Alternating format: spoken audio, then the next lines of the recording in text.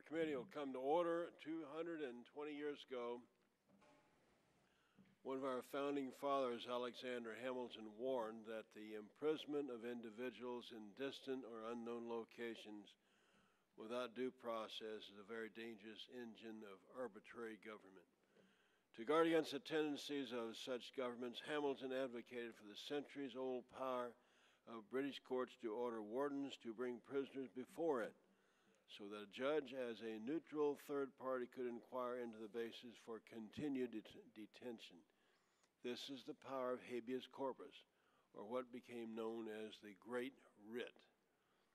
The Military Commissions Act 2006, which was enacted in the last Congress, stripped our federal courts of this bulwark of our, of our Constitution.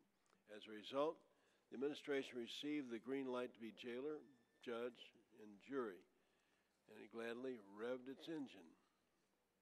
The engine roared until the highest court in our land determined that the price of fuel for that engine was more than our Constitution could bear. Last month, the Supreme Court, in a five to four opinion, decided that the detainees who are being held at the U.S. Navy station in Guantanamo Bay, Cuba, do have the habeas corpus privilege under the suspension clause of the Constitution, and that Section 7 of the Military Commissions Act is unconstitutional. As a former prosecutor, it's gratifying to know that the federal courts will resume their traditional role of ensuring that only the corrupt remain behind bars. While I still believe the current military commission system has some other significant weaknesses, this ruling of the court will help by ensuring that any commission ruling which are designed to bring terrorists to justice can better withstand judicial scrutiny. For certain convictions must go hand in hand with tough prosecutions. In addition to the now largely addressed habeas issue, I have repeatedly identified six other potential unlawful defects in the current military commission's framework. First, the Military Commissions Act may violate the exceptions clause under Article 3 of the Constitution by impermissibly restricting the Supreme Court's review. Second, it's questionable whether the Supreme Court would uphold a system that purports to make the President the final arbiter of the Geneva Convention. Third, the provisions regarding coerced testimony may be challenged under our Constitution. Fourth, the Act contains very lenient hearsay rules, which rub up against the right of the accused to confront witnesses and evidence as guaranteed by the Constitution. And fifth, the Act may be challenged on equal protection and other constitutional grounds for how it discriminates against the detainees for being aliens. Last, Article 1 of the Constitution prohibits ex post facto laws, and that is what this act may have created. Although I don't anticipate that all these issues will be resolved before high value detainees, uh, such as uh, Khalid Sheikh Mohammed, the self confessed mastermind of 9 11, go to trial, I have confidence that the courts and we here in our Congress will be deliberate, be deliberate and decisive rather than recklessly headstrong on how we approach these very difficult questions. We must make sure that the verdicts of the military juries stick. Look forward to hearing from our witnesses today. We have as our witnesses front of us, bring it down here. Stephen Oleskey a partner in Wilmer, Cutler, Pickering, Hale, and Dorr, and has represented six Bosnian Algerian men who have been detained at Guantanamo since 2002. Mr. Oleskey was awarded to the 2007 American Bar Association Pro Bono Publico Award, largely because of his work on habeas corpus. Would you raise your hand? We'll know who's who. There you are. Thank you very much. Next witness, Neal Katyal, is the Saunders Professional of National Security Law at Georgetown University Law School. In Hamdan versus Rumsfeld, he successfully argued before the Supreme Court that the Military Commissions Act, which predated the Military Commissions Act, uh, were unconstitutional. Would you raise your hand, Swilna? Thank you. Richard Klingler, who served as the National Security Council's General Counsel and Legal Advisor from 2006 to 2007, and is a partner in the law firm of Sidley Austin. Thank you. Mr. Morris Davis, Colonel of the United States Air Force, although he's testifying as a civilian while on terminal leave.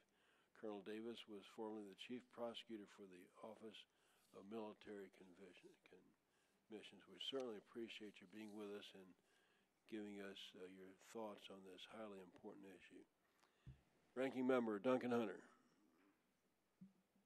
Thank you, uh, Mr. Chairman, and thanks for uh, for holding this important hearing. And uh, I would simply note that uh, that uh, Alexander Hamilton, uh, however, never recommended that habeas uh, be given to prisoners of war. In fact, uh, uh, the habeas rights that have been have been directed by the court's decision are rights that that terrorists have at this point, which no American soldiers have over the last couple of years, this committee has uh, spent a lot of time focusing on the, our detainee policy for the global war on terrorism. And the policy that the committee advanced uh, took into account that this war against terror has produced a new type of battlefield and a new type of enemy.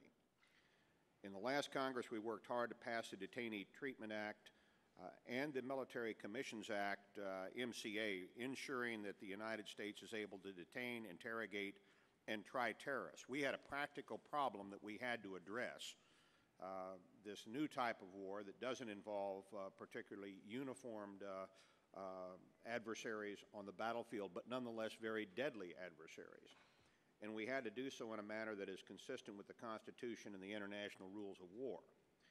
As the Attorney General recently remarked about the DTA and the MCA, uh, the Detainee Treatment Act and the Military Commissions Act, and he said, and I quote, uh, these laws give more procedural protections than the United States or any other country for that matter had ever given to wartime captives, whether those captives were lawful soldiers in foreign armies or unlawful combatants who target civilians and hide in civilian populations. And, and Mr. Chairman, I, I asked, just asked the staff as we kick this thing off uh, to give me the list uh, procedural protections that we gave uh, to accused terrorists when we put this bill together. Let me just go over these because I think this is important. The right to counsel. None of our POWs have that. The presumption of innocence. POWs don't have that. Proof beyond a reasonable doubt.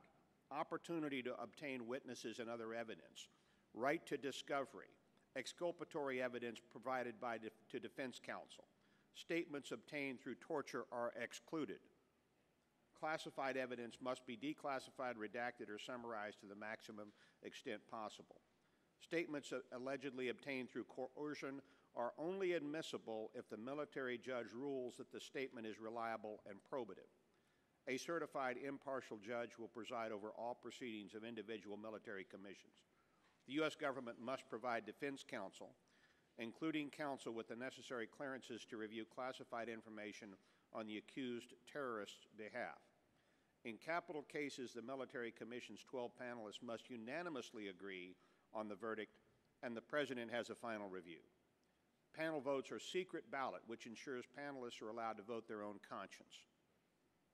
Right to appeal to a new military, a new court of military commissions review, and the Court of Appeals for the District of Columbia and the right against double jeopardy. Uh, those gentlemen were derived from, the, uh, from our scrutiny of other uh, councils that were, uh, that were similar, tribunals including uh, Nuremberg, Rwanda, and others.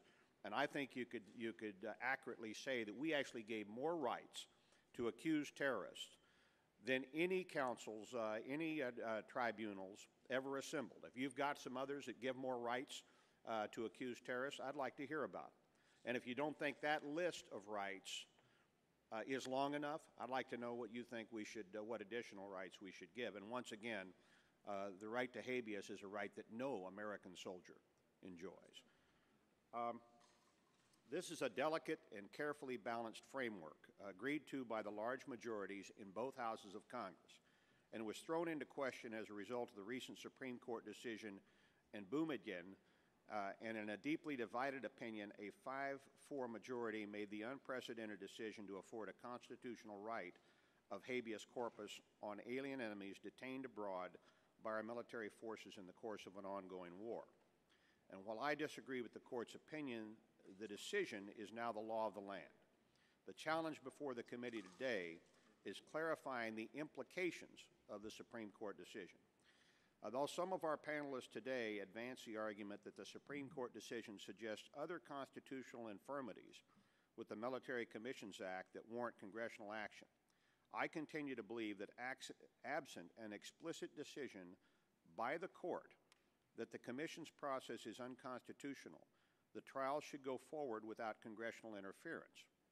It's important to note that the majority in Boumediene addressed the process for status determinations regarding detention. The court was silent with respect to commissions. Currently, there are 20 commissions in the works, and the first trial has just commenced.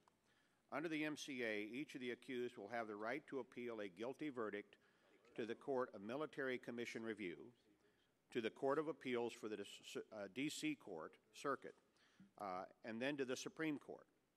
I encourage the committee to heed the underlying principle of Chief Justice Roberts' dissent in Boumediene. We should not rush to judgment on the constitutionality of the commissions until the process is complete and the trials have exhausted their reviews. As we meet today, the case against the 9 11 conspirators is moving forward. As the Congress intended, the U.S. is in the process of bringing those responsible for the attacks on the World Trade Center and the Pentagon to justice. Congress should exercise discretion. While Boumediene did not reach the issue of military commissions directly, it did raise a host of issues related to the process required to detain an individual the military believes to be a terrorist. Moreover, the basis for which the court determined that detainees in Guantanamo have a constitutional right raises questions as to whether the court's rationale could extend to other places where the military holds detainees, like Iraq and Afghanistan. I share Justice Scalia's concern that absent congressional action, the policy for handling enemy prisoners in this war will ultimately lie with the branch that knows the least about the national security concerns the subject entails. I believe these are matters best left to political branches to decide. So what policy matters are put into question by Boumediene that should not be left to the court to decide? Attorney General Mukasey's recent, recent speech on the subject highlights six critical areas that need congressional action. First and most important, Congress should make clear that a federal court may not order the government to bring enemy combatants into the United States. Even under the current system, we've released detainees that have resurfaced on the battlefield and engaged in armed conflict. I share Justice Scalia's concern that post Boumediene, the number of enemy returned to combat will increase. And I remind my colleagues that, uh, that we have had a number of people who were released from Guantanamo who showed up on the battlefield again attempting to kill American soldiers. Uh, second, it's imperative that the proceedings for these enemy combatants be conducted in a way that protects how our nation gathers intelligence and what that intelligence is. Attorney General Mukasey cites a terrorism case he presided over when he sat on the federal bench, where the government was required by law to hand over to the defense a list of unindicted co conspirators. This list found its way through the lawyers to, its, to Osama bin Laden in Khartoum. Third, Congress should make clear that habeas proceedings should not delay the military commission trials of detainees charged with war crimes. Fortunately, one federal judge has already ruled on this matter, deciding that the trial should go forward, but this question is still at issue. The victims of September 11 should not have to wait any longer to see those who stand accused face trial. That's what he said. Uh, fourth, Congress should reaffirm that for the duration of the conflict, the United States may detain as enemy combatants those who have engaged in hostilities or purposefully supported Al Qaeda, the Taliban, and associated organizations. Large majorities of this Congress support supplemental spending bills that pay for the war and allow for the continued fight against Al Qaeda. Yet there are judges who question whether there is still authorization to detain. We should put any doubt to rest. Fifth, Congress should ensure that one district court takes exclusive jurisdiction over these habeas cases and should direct that common legal issues be decided by one judge in a coordinated fashion. It is simply absurd to have the rules of the game change from one detainee's case to the next. Last, Congress should make clear that the detainees cannot pursue other forms of litigation to challenge their, their detention. Simply put, detainees should not have two bites at the apple. Now that they will receive habeas review, there is no reason for the D.C. Circuit to review status determinations also. At stake here is whether this Congress and this committee in particular will allow the so, slow creep of lawfare to replace warfare. Our men and women in uniform are trained in armed conflict. The battlefield is not a place for a crime scene investigative unit. And I can recall, Mr. Chairman, when we had our, our one of our hearings on the uh, proposed Detainee Treatment Act, and we asked one of our uh, one of our very experienced litigators, uh, one of our lawyers and service lawyers who understood the UCMJ, and a number of people were saying, let's apply the UCMJ to uh, detainees on the battlefield. And we asked that particular uh, attorney whether that would mean that when a Marine squad saw a terrorist shoot at him on the battlefield in Afghanistan, he would then have to give him his Miranda rights as he interrogated him at the, uh, at the Humvee? And the answer was, in that lawyer's opinion, yes, he would have to do that, uh, leading to the question of whether we were going to be able to assign lawyers to each uh, squad of Marine combatants. Uh, so I think this is, a, uh, this is an issue that we should look at very clearly from the perspective of people on the battlefield. as the Attorney General recently argued, military personnel should not be required to risk their lives to create the sort of arrest reports and chain of custody reports that are used under very different circumstances by ordinary law enforcement officers in the United States. Battlefields are not an environment where such reports can be generated without substantial risk to American lives.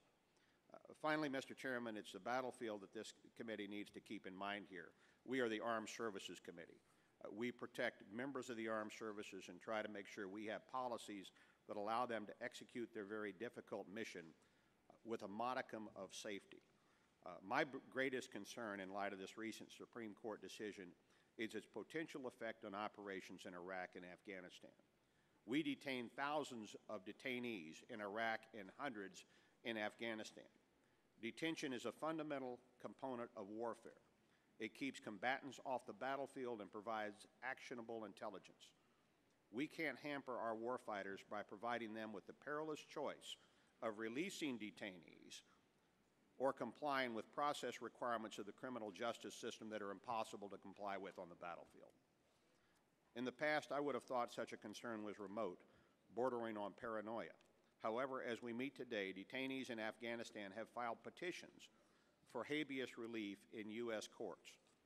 As one editorialist recently pointed out, the Supreme Court rejected the concept that court jurisdiction is limited to sovereign American territory and could extend not just to captives at Guantanamo, but all detainees abroad. And I think this is simply untenable. So, uh, Mr. Chairman, uh, thank you for holding this uh, very important hearing today. Uh, I look forward to the testimony of our witnesses. Thank the gentleman. We are uh, extremely fortunate to have the uh, witnesses uh, we have on this panel, and we look forward to hearing from you. I, I hope I don't mispronounce your name as, as I, I call him, but let me try. Stephen Oleskey. Did I get it? All right. Get the get the. Um, yes, you did, Mr. Chairman. Thank you. Okay. With with that, we'll call on you first, sir. We uh, hope you will summarize your testimony. Uh, we on the committee are uh, governed, as you know, by the five-minute rule, and we will proceed. Thank you, Mr. Chairman, Ranking Member Hunter, members of the committee. I, I have been since July 2004 co-lead counsel in the case which the Supreme Court decided on June 12th, Boumediene against Bush. My clients, as the chairman mentioned, were arrested uh, at the behest of the United States in Bosnia in the fall of 2001, uh, despite the fact that the Bosnians had Would no you get evidence, just a little closer to the microphone? despite please? the fact that the Bosnians had no evidence uh, to, to arrest them were investigated uh, thoroughly by the Bosnian system with the cooperation of the United States and then ordered released in January 2002. However, instead of being released, they were turned over again at the demand of the United States to our forces there and flown to Guantanamo, where they've been since January 20, 2002. So they're now completing six and a half years in Guantanamo without charge or hearing. Our case was originally dismissed in January of 2002. Another parallel case was ordered to go forward. Both cases then went up through the appellate system. While that was happening, this Congress, the previous Congresses passed first the Detainee Treatment Act of 2005 and then the Military Commissions Act of 2006, both of which you've referred to in your opening remarks. Then in 2006, the Supreme Court held in the Hamdan case that um, habeas had not been stripped or taken away by the Detainee Treatment Act, and habeas could go forward. Thereafter, the Congress passed the Military Commissions Act, which dealt both with military commissions and with the status of habeas corpus for the detainees in Guantanamo who had been characterized as enemy combatants.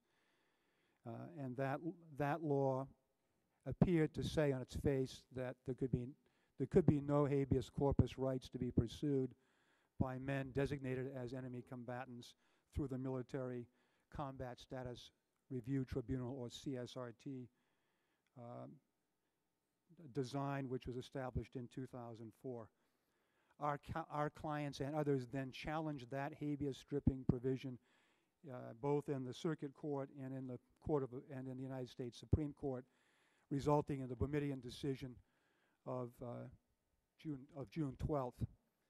Uh, in th- that decision holds for the first time that uh, Congress has unlawfully suspended the writ of habeas corpus provided in Article 1, Clause 9 of the Constitution, because in the circumstances existing in Guantanamo, the court found that habeas rights ran there and could be invoked by those prisoners, a, a decision that was foreshadowed in the Ra- Rasul and Hamdi decisions of 2004, also by the Supreme Court. Now, the suspension clause states that the privilege of, writ, of, of the writ of habeas corpus may not be suspended except when in times of rebellion or invasion the public safety may require it. That's bedrock. It's in the body of the Constitution. It was so important to the founders that they didn't wait for a Bill of Rights. They put it as a limitation on the power of the executive and of the Congress right in the body of the Constitution. The Supreme Court then found in Boumediene that prisoners could claim habeas corpus despite the fact that Cuban government retains legal sovereignty over the United States base there because the United States has had total control and jurisdiction over that 45 mile enclave since the lease of 1903, under which we obtained the right in perpetuity to hold uh, that base as a military facility for the United States. Supreme Court also found that the prisoner's alien or foreign status was not a bar to their invoking habeas corpus in the context of Guantanamo. In view of the framers' intent in enshrining, enshrining habeas corpus in the body of the Constitution, and the Supreme Court's history of construing some fundamental constitutional rights as applying outside the United States depending on particular facts and circumstances. That's a history that goes back over a hundred years. Since there was no congressional finding in, this, in these cases of rebellion or invasion, the Supreme Court concluded there was no lawful basis for Congress to suspend habeas corpus for the approximately 275 men remaining in Guantanamo. Then the court examined whether the, the statutes that you enacted, particularly the Detainee Treatment Act and the habeas stripping provision of the Military Commissions Act of 2006, together provided an adequate substitute or an acceptable uh, remedy for habeas, which it found had been, had been stripped. The court found that these uh, congressional remedies were not adequate substitutes because the underlying process in Guantanamo, unlike a trial in federal court, a criminal trial, or another adversarial proceeding was fundamentally not adversarial. There was no evidence, uh, no classified evidence made available to anyone there to defend himself. No one had lawyers. They had limited ability to call witnesses and offer documents, and the government evidence was presumed valid. The only review that Congress allowed of this was a limited review, an administrative review essentially, a record review by the Court of Appeals in Washington, which could not make new fact finding, unlike a federal habeas court, which could not go beyond the record from Guantanamo, which was this extremely non adversarial record that resulted from a process created by the Defense Department in 2004. In effect, the Court of Appeals would be reviewing a baked in record with many procedural deficiencies that the court found would not begin to provide anything approximating, approximating fair or due process. For example, there'd be no ability to, to challenge the legal authorization for detention, which the administration has always asserted is found in the authorization for use of military force resolution of Congress in September of uh, 2001. There's no authority in the district court to order conditional release of any prisoner found to be entitled to the grant of habeas corpus. A federal district court can order a conditional release. I say that release is conditional because that's the word the Supreme Court used. And what the court was saying was that even if someone's ordered released, it's still up to the political branches, in this case the executive, to negotiate their return to the country from which they were taken or to some other country which is willing to take them. And as the committee may be aware, there are a number of men who the Defense Department itself has cleared, has said are not enemy combatants or no longer enemy combatants, who are, are waiting in Guantanamo for some country to be willing to take them. United States has said properly that no one will be sent back at this time to a country where, be, where they'll be tortured or mistreated. For example, the Chinese Uyghurs were not willing to return to Chinese for that to China for that reason. So they are actually uh, being held, many of them as cleared men, but uh, with no place to go. So those are the deficiencies that the Supreme Court found in the uh, existing process and why it found that the circuit court process for limited review that Congress enacted was not sufficient in view of the constitutional entitlement of these men to some fair process. It is correct that the Supreme Court left various details about how the habeas trials would be conducted to the federal district court in Washington, right down the street in the Prettyman Courthouse. Uh, th but this result that the ex that experienced Article III federal judges uh, sitting in the trial court will now do their jobs and conduct habeas trials is unremarkable and scarcely a justification, let alone one rising to a necessity for additional con congressional action with respect to habeas corpus at this time. Former Chief Judge Hogan is presiding over the bulk of those cases which are before him on remand from the Supreme Court in the short time since June 12th. He's had a number of hearings, has uh, had briefings, and has begun to issue orders. The balance of the cases are before Judge Richard Leon, including my case. He has also held a number of hearings, uh, is beginning to issue orders, and has stated publicly that he intends to have all the cases before him involving approximately 25 prisoners completely resolved uh, and uh, final orders issued by the end of calendar uh, 2008. Both those judges are consulting closely. They have assured us in meeting the Supreme Court's mandate to move these cases expeditiously. These cases are heavily fact intensive and, in my view, would be difficult for Congress to weigh in on with respect to habeas at this time because the facts and circumstances are so different among the varying cases. For example, as I mentioned, my cases, my clients were arrested not on a battlefield, but in a friendly country, Bosnia, where they were working, uh, living with their families, uh, and uh, not uh, with any criminal record or any indication that they would be terrorists. Other, other people were arrested in Africa, other places in the world far from Afghanistan or Iraq. Moreover, the enactment of both the DTA and the MCA with respect to habeas has caused extensive delays already in resolving these cases as the Court of Appeals here in Washington sought additional briefing and argument each time on the significance of these acts to the pending appeals. Therefore, the appeals took from early 2005 until uh, the middle of 2007 to resolve at the Court of Appeals level, and obviously until June of 2008 to resolve at the Supreme Court level. Given the recognition of Secretary Rice, Secretary Gates, many others in the Congress and the government of the great damage done to U.S. prestige and reputation by our perceived failure to give the 275 men in Guantanamo any fair hearing despite the passage of six and a half years, it would be my suggestion that Congress stay at this stay its hand at this time with regard to any further actions uh, concerning habeas and let the experienced federal trial judges down the street at the Prettyman Courthouse do their job, which is at long last to review the specific individual facts concerning these six these remaining 275 men to determine which should be held and which should be ordered conditionally released. Thank you, Mr. Chairman. Thank you so much. Um, now, you all correct me if I mispronounce your name. Katyal, Perfect. I got it? That's Okay. perfect. Please.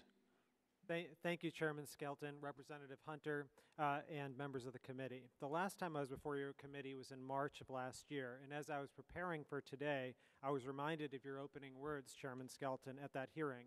You said, quote, Last year, when Congress passed the MCA, I argued that the most important task was to design a system that could withstand legal scrutiny. There are at least seven potential constitutional defects. First, it seems clear to me and many others that the Act may be unconstitutionally stripping the federal courts of jurisdiction over habeas cases. End quote. Your opening statement, like the one you made today, went on to list a number of infirmities, including violations of the Geneva Conventions and equal protection as ex post facto, confrontation, and exceptions clause problems under our Constitution. And you concluded, quote, providing for ex- expedited review by the Supreme Court of these seven issues continues to be important. If the justices find the Military Commission Act includes constitutional infirmities, it is likely that known terrorists could receive a get out of jail free card or have their death sentences reversed. Chairman Skelton, what you said back in 2007 looks prophetic now in 2008. We stand now with that very act invalidated on the very ground you mentioned, stripping habeas corpus, a part of Anglo American jurisprudence since the Magna Carta of 1215. Even before 2007, during those hasty Military Commission Act debates of 2006, many warned the administration that if they rushed to implement their proposed legislation, they would accomplish very little because that legislation had constitutional infirmities and courts would strike it down. But the administration's defenders reassured Congress that the Constitution did not apply to Guantanamo and not to worry. That legal advice was always dubious, and the Supreme Court put an end to it. In the Boumediene decision last month, the court stated the political branches cannot switch the Constitution on and off as they please. Our basic charter cannot be contracted away like this, they said. And so here we are again, nearly seven years after the horrible 9 11 attacks, with only half of a single trial completed at Guantanamo, and the Military Commission Act already struck down in part by our highest court. Now, some are proposing yet again another rushed proposal to respond to the new court decision. The proposals are legion. Some would create a national security court, others would centralize litigation and a few judges, and still others would try to overhaul the military commission process. I support many of these proposals. I think the military commissions created in 2006 are deficient and unlikely to survive judicial scrutiny. The Act's foundational presumption in 2006 was that the Constitution did not apply to Guantanamo, and so the trials need not have even basic rights guaranteed by the Constitution, such as the right of a defendant not to have coerced testimony used against him. This system is going down, and it is right and proper for this body to put commissions on hold as soon as possible to develop appropriate, constitutionally balanced legislation. I am also a believer, to the chagrin of some, in a national security court to authorize a very limited preventative detention system for individuals who truly are unable to be tried in military or civilian court. I've been studying such a court for well over a year now, and the one thing I can say with certainty is that it is a very difficult undertaking. Who will the judges be? Who will the defense lawyers be, if any? How long will the detention periods last? Will there be periodic review? What evidence is going to come in? Who will be subject to the court's jurisdiction? Will there be appeals? There are hundreds of different models from which to choose. and yet each of them will differ from our traditional system of justice. Americans take pride in our criminal justice system, and our system works best when we convict terrorists in it. We showcase the rule of law and contrast it with the despicable world of the enemy, who lacks respect for our way of life and our values. If we are to modify the system, we should do so cautiously, with appreciation for the risks involved. That is why, moving forward, the most important line in Boumediene belonged not to the majority, but to the, chief, but to the dissent by Chief Justice John Roberts. He said, after the court in 2004 gave Guantanamo detainees habeas corpus rights, Congress responded 18 months later and cannot be faulted for taking that time to consider how best to accommodate both the detainees' interests and the need to keep the American people safe. Cannot be faulted for taking that time. The very worst time, it occurs to me, to contemplate such changes is a few months before an election, particularly when both presidential candidates have announced that they will close Guantanamo. A rush to judgment runs the risk of creating slogans, not sustainability. That is exactly what happened in 2006 with the Military Commission Act. We need a better plan than simply looking tough if we want to demonstrate to our courts and to the world that we are serious about terrorism. This country desperately needs and deserves a serious inquiry, perhaps catalyzed by a bipartisan national commission to examine whether a national security court is necessary and, if so, what it should look like. We have spent far too many years with intemperate solutions that have gotten us nowhere. Many warned the administration that they needed a plan for the day after the Supreme Court's highly predictable decision to restore basic habeas corpus rights to detainees. But the administration stubbornly clung to notions of executive power that the Supreme Court in Boumediene eviscerated. If we rush into legislation today, we will need yet another plan for the next predictable day after. Thank you. Well, thank the gentleman. I think I can pronounce this next one. Mr. Klingler? Did I get it? Okay. Mr. Chairman, Ranking Member Hunter, members of the committee, I appreciate Be sure and, um, you, you have to get real close to the microphone so Sorry about that. hear. Can you hear me now? Yes, sir. I appreciate the opportunity to address you today in my personal capacity regarding the important issues raised by the U.S. Supreme Court's decision in Boumediene versus Bush. I would like to emphasize a few points canvassed at greater length in my written testimony. Boumediene pre- presents very significant issues that only legislation can address uh, A effectively. little closer, please. Just speak right into it. Try better? Yeah, stay close to it, yeah. I'll try to. Thank you. Federal courts have traditionally deferred very considerably to the executive branch and to Congress on military matters. Detaining persons the military has found to be enemy combatants is a central and legitimate component of the war on terrorists. As a unanimous Supreme Court indicated in a separate case just last month, the Constitution requires that the judiciary be as scrupulous not to interfere with legitimate Army matters as the Army must be scrupulous not to intervene in judicial matters. Boumediene abandoned that tradition of deference. It opens the door to an unprecedented era of judicial policymaking in military matters.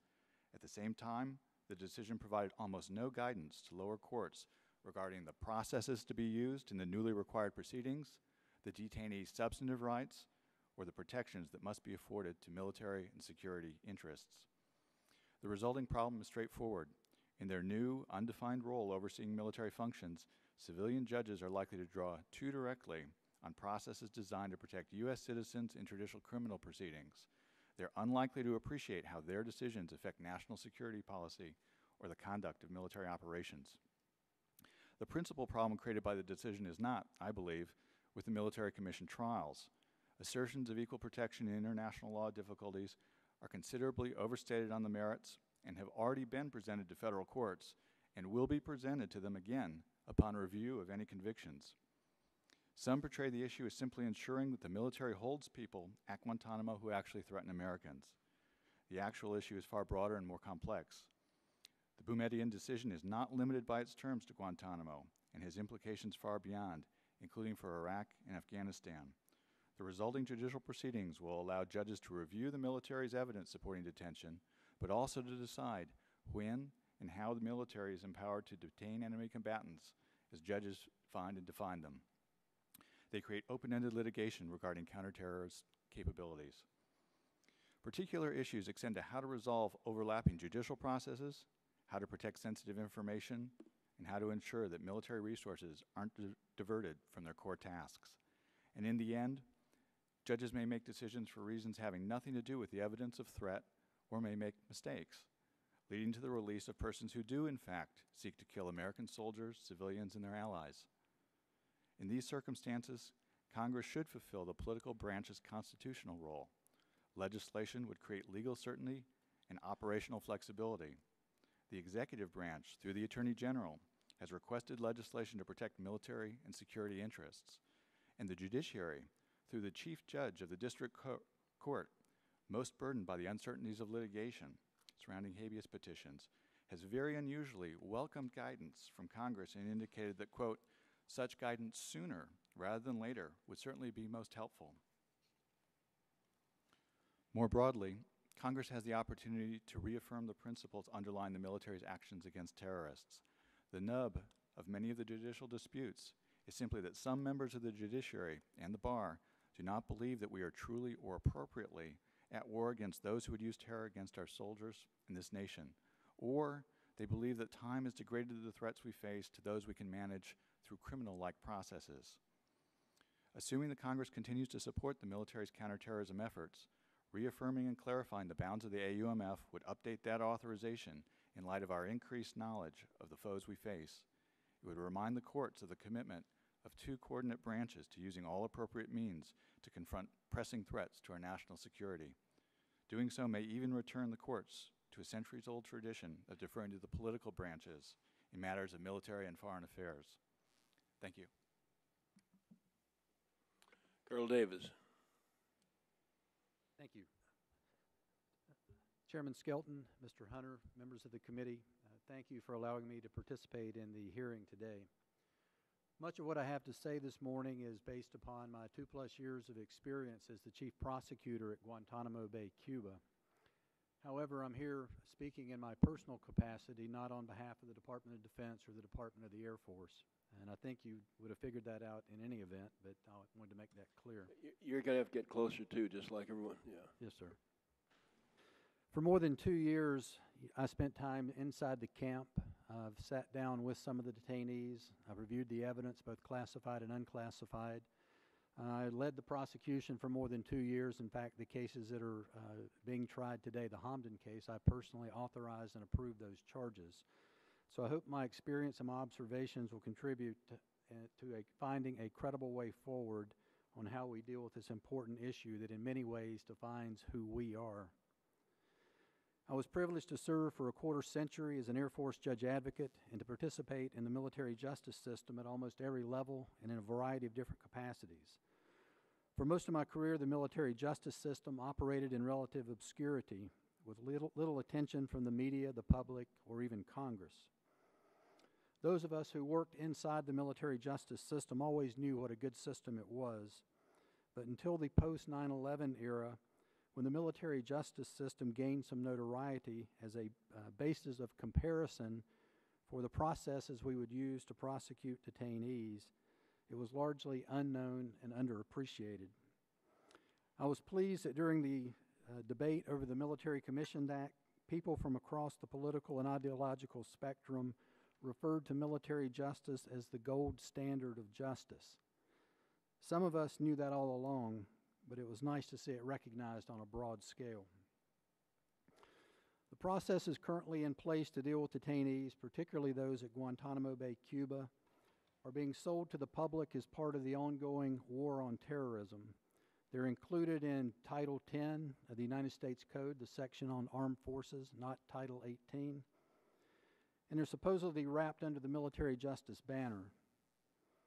In my view, what we're doing at Guantanamo Bay is neither military nor justice. And if this reflects what passes for military justice in 2008, I'm glad my uniform is hanging in a closet. This isn't the military justice system I respected and admired for nearly 25 years. Over the past several months, I've written a number of articles and given talks and done interviews and shared my observations with special interest groups, non governmental organizations, think tanks, and some members of this body. The question of how we move forward to ensure the treat, treatment of detainees and to begin to restore our reputation in the eyes of the world is an important issue. But with soaring gas prices, plunging home values, rising foreclosures, a looming record deficit, and wars in Iraq and Afghanistan, and all of that taking place within 100 days of an election, this probably isn't the number one issue on a lot of people's list. I understand that. As someone about to be unemployed and with a uh, interest-only adjustable rate mortgage, it's probably not number one on my list either, but it should be on everybody's top 10 list. It's an issue that warrants thoughtful consideration now, and we shouldn't wait until after November 4th or January 20th to begin having this discussion. Now, I think the most beneficial use of our time today will be in answering your questions, so I'm going to keep my comments relatively brief. However, there are a few points to keep in mind in discussing uh, detainees at Guantanamo Bay. One thing I found in talking to different groups is apparently I'm in the middle of the road. I tend to get hit by folks on uh, either side. I tend to aggravate everybody because I think my views uh, are neither left nor right. I think first it's important uh, that, to recognize that there's an inter internationally recognized right during a period of armed conflict to indefinitely detain the enemy to keep him from in inflicting harm on us and on others. To the best of my knowledge, there's never been and there never will be a date certain that we know when an armed conflict is going to end. Now, that's not to discount in any way the $64,000 question of how we assess who is or is not the enemy, but some seem to argue and believe that unless we bring criminal charges or release a detainee with some, within some prescribed period of time, that we've committed a foul, and that's just not the case. Second, the intelligence community wants to know what's going to happen in the future in order to prevent the next 9 11. The law enforcement community wants to know what happened in the past to punish those responsible for the last 9 11. As you can see, the perspectives are in opposite directions, one being prospective and one being retrospective. Add to that that one agency operates in a very rigid and very visible environment where the rules are well known, things like Miranda rights, speedy trial, chain of custody, search warrants, and such. The other operates in a very fluid and invisible environment where the rules are generally secret. When you try to overlay the two communities, you get a lot of square peg and round hole problems. And in a nutshell, that's Guantanamo Bay which began as an intelligence operation and largely is still to this day an intelligence operation, with any thought of some law enforcement or criminal prosecution process taking a back seat at best. Now, it's wonderful when those two conflicting communities overlap and dovetail, but that's seldom the case, and that's the real conundrum with Guantanamo Bay. Lloyd Cutler was a giant in the legal community, having served as White House counsel twice and as co founder of one of the most prestigious law firms in the world. In 1942, when he was just beginning his career, he served as a prosecutor in the uh, trial of the eight Nazi saboteurs, which took place not too far from where we are today, which led to the Supreme Court decision in Ex parte Quirin. In December 2001, Mr. Cutler wrote an article in the Wall Street Journal drawing on his experience from more than 60 years earlier. He said, How we prosecute the members of Al Qaeda and their supporters will say as much about the American legal system as it does about Al Qaeda. Now, Mr. Cutler passed away in 2005, and I doubt if he was here today, he'd be pleased with what the past 80 months have said about the American legal system. We're better than this. Military commissions apply only to, to only some of the detainees, certainly not the entirety, and my experience is pretty much limited to the military commission cases. Judge James Robertson, in his decision on July 18th denying Salim Hamdan's request for an injunction in the military commission, said, quote, The eyes of the world are on Guantanamo Bay. Justice must be done there, and it must be seen to be done there fairly and impartially, end quote. And I believe the current system may do justice in some cases, perhaps in many cases, but we need a system that's capable of doing justice in all cases. There are, in my view, four main problems with the current military justice process. And I'd stop to say that uh, I believe that the Military Commissions Act was a commendable piece of legislation, and I still believe that. It was the implementation by political appointees after it had been uh, passed by Congress signed by the President where it was hijacked along the way. The four areas are one, if the military commission is really a military commission, it should be under military control and free of political interference. Now, proponents argue that a commission is really, for all practical purposes, just like a court martial. Well, for a variety of reasons, the analogy to the court martial system does not fit. And I'll give you one example. Since 9 11, the Army, the Navy, the Air Force, and the Marine Corps has conducted in excess of 50,000 court martials. To the best of my knowledge, each of those 50,000 court martials was convened by a military officer, not by a political appointee. So if the military commissions are just like a court martial, why are these the only Title X criminal proceedings convened by a political appointee who has never worn a military uniform a day in her life? Second, in the court martial system, the convening authority and his or her senior attorney, what we refer to as a staff judge advocate, has some oversight authority over the prosecutors. And it's that level of command involvement in the military justice system that's often cited as the greatest weakness in the court martial process. All of the interna- all the comparable international tribunals that are sanctioned by the UN guarantee the independence of the prosecutors. Trying to explain what a convening authority is is a difficult proposition, particularly to an international audience who's accustomed to that international model where prosecutors are independent. Now, I thought language that Senator Lindsey Graham added to the Military Commissions Act at my request ensured that no one could try to influence the exercise of professional judgment by me or the prosecutors. And it aligned us more closely with the international model that would be more, understandable to the international community.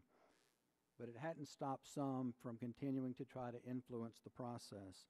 The military judge in the Hamdan case is Navy Captain Keith Allred, and he ruled that the legal advisor to the convening authority, Brigadier General Tom Hartmann, broke the law by engaging in unlawful influence over me and the prosecution in the Hamdan case, and he disqualified General Hartmann from any further involvement in the Hamdan case.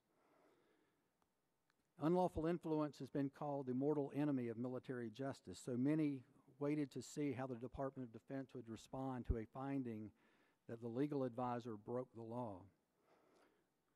What's happened since that finding that he broke the law has been nine more detainees have been charged, the 9 11 cases have been referred to trial, and General Hartmann is still in place and pressing ahead at full speed. Third, we have to make a commitment to open and transparent trials. Some closed sessions are inevitable, but that should be the exception and not the rule. I can tell you from firsthand experience that the evidence declassification process is time consuming and is frustrating, but it's necessary if we're going to have open trials. You can have speed, but if you have speed, it comes at the expense of transparency. And as tainted as the process has become in the eyes of the world, I believe it's imperative that we take the time and the effort to make these trials as open and transparent as possible. In fact, I'd often joked in the past that we should have these proceedings on court TV, and I still think that might be a good idea. Finally, we must reject the use of evidence obtained by unduly coercive techniques such as waterboarding. Those techniques may produce useful intelligence, but they do not produce reliable evidence suitable for use in an American court of justice. If we condone it now, we forfeit the right to condemn it later when the shoe is on the other foot. Information obtained by convincing a man to say what the interrogator wants to hear or possibly die, which is really what waterboarding is, or the same as putting a gun to someone's head and saying, I'm going to count to 10 and pull the trigger if you don't talk. It's what the person on the other end believes. It doesn't matter if the gun's empty and there's no possibility of death or if the waterboarder's not going to drown the individual. The person on the other end doesn't know that, and he believes his choices are talk or possibly die. That practice has no place in an American court of justice and it should be banned. In a speech delivered in April at West Point, Secretary Gates said, quote, Listen to me very carefully. If as an officer you don't tell blunt truths, then you've done yourself and the institution a disservice, close quote. Later in June, at a speech he gave at Langley Air Force Base, he said, quote, None of the services easily accept honest criticism or scrutiny that expose institutional shortcomings. This is something I believe must change across the military. Secretary Gates went on to say, quote, "When you see failures or problems, throw a flag. Bring them to the attention of people who can do something about it." End quote. Mr. Chairman, members of the committee, I've thrown the flag and I've told blunt truth. As a result, my service has been characterized as dishonorable. I was denied a medal for my service as chief prosecutor, and I find that uh, the truth not only sets you free, it also makes you largely unemployable. And that's fine. To me, it would be a disservice if I'd put my head down, uh, pressed ahead, and pretended everything was fine when it was not. And I have no regrets about doing what I did. Thank you for allowing me to be here today. Well, thank you for uh, your testimony and for each of you and your excellent words of, of uh, wisdom and advice for us. Uh, Colonel Davis, it's interesting to note your reference to the 1942 uh, case. Uh, of, of personal interest, there was a uh, World War I soldier stayed in the Army Reserve as a JAG officer by the name of Colonel Carl Ristine uh, from my hometown of Lexington, Missouri, and was uh, quite a well-known lawyer in western Missouri.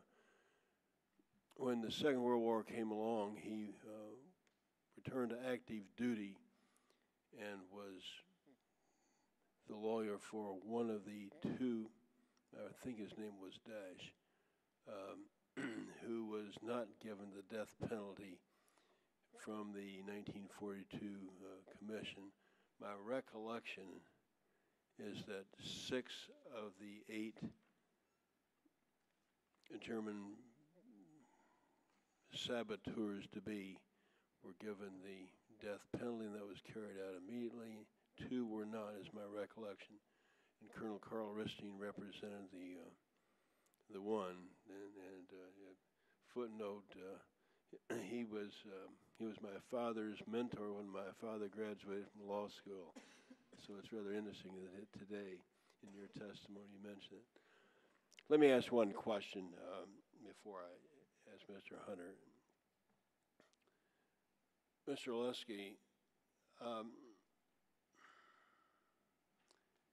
could could you address the suggested points that the Attorney General made uh, for or recommended for congressional action in response to the Boumediene case? Um, would, would would you respond as to how? I don't know if you have the list of them there in front of you. Would you respond as to your thoughts on each of them? I think there's six of them, please. I don't have a list in front of me, Mr. Chairman, but I'm generally familiar with the Attorney General's suggestions. Why, why don't you go ahead and tell us your thoughts?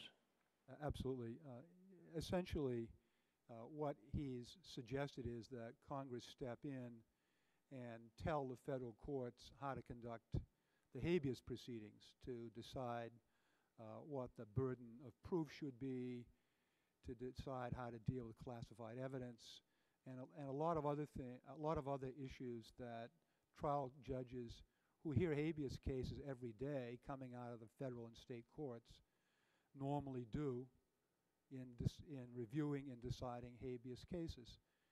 As I stated in my remarks, the problem with that one size fits all approach is that no one sitting in Congress or in any uh, advisory capacity over a habeas case is ever going to know enough about the facts that are at issue in a particular case because they're so varying and different and raise so many issues to be able to devise a protocol that will work. So my view is that the federal courts have extensive experience dealing with these issues that are now presented by this ruling it's only the ruling that's unusual, not the issues that have to be explored, which is what's the basis to hold somebody indefinitely? What are their defenses? What are the facts that bear on that decision to hold? And what are the facts that bear on whether the person should be released? These are, if not garden variety issues, very common issues that federal habeas courts in every jurisdiction represented by every one of you in the country deal with, uh, if not every day, then every week. So what happened with the MCA and the DTA, as we've all been saying in our various ways, were that some clarity was brought to some aspects of these military commission and habeas proceedings, but fundamentally, we ended up with years of appeals that were foretold by many uh, of us and many of you, resulting in delays from 2002, really, when the first case was brought, until 2008. So, six and a half years of appeals just to get to the fundamental issue in each individual case of whether someone's should be held further or should be released.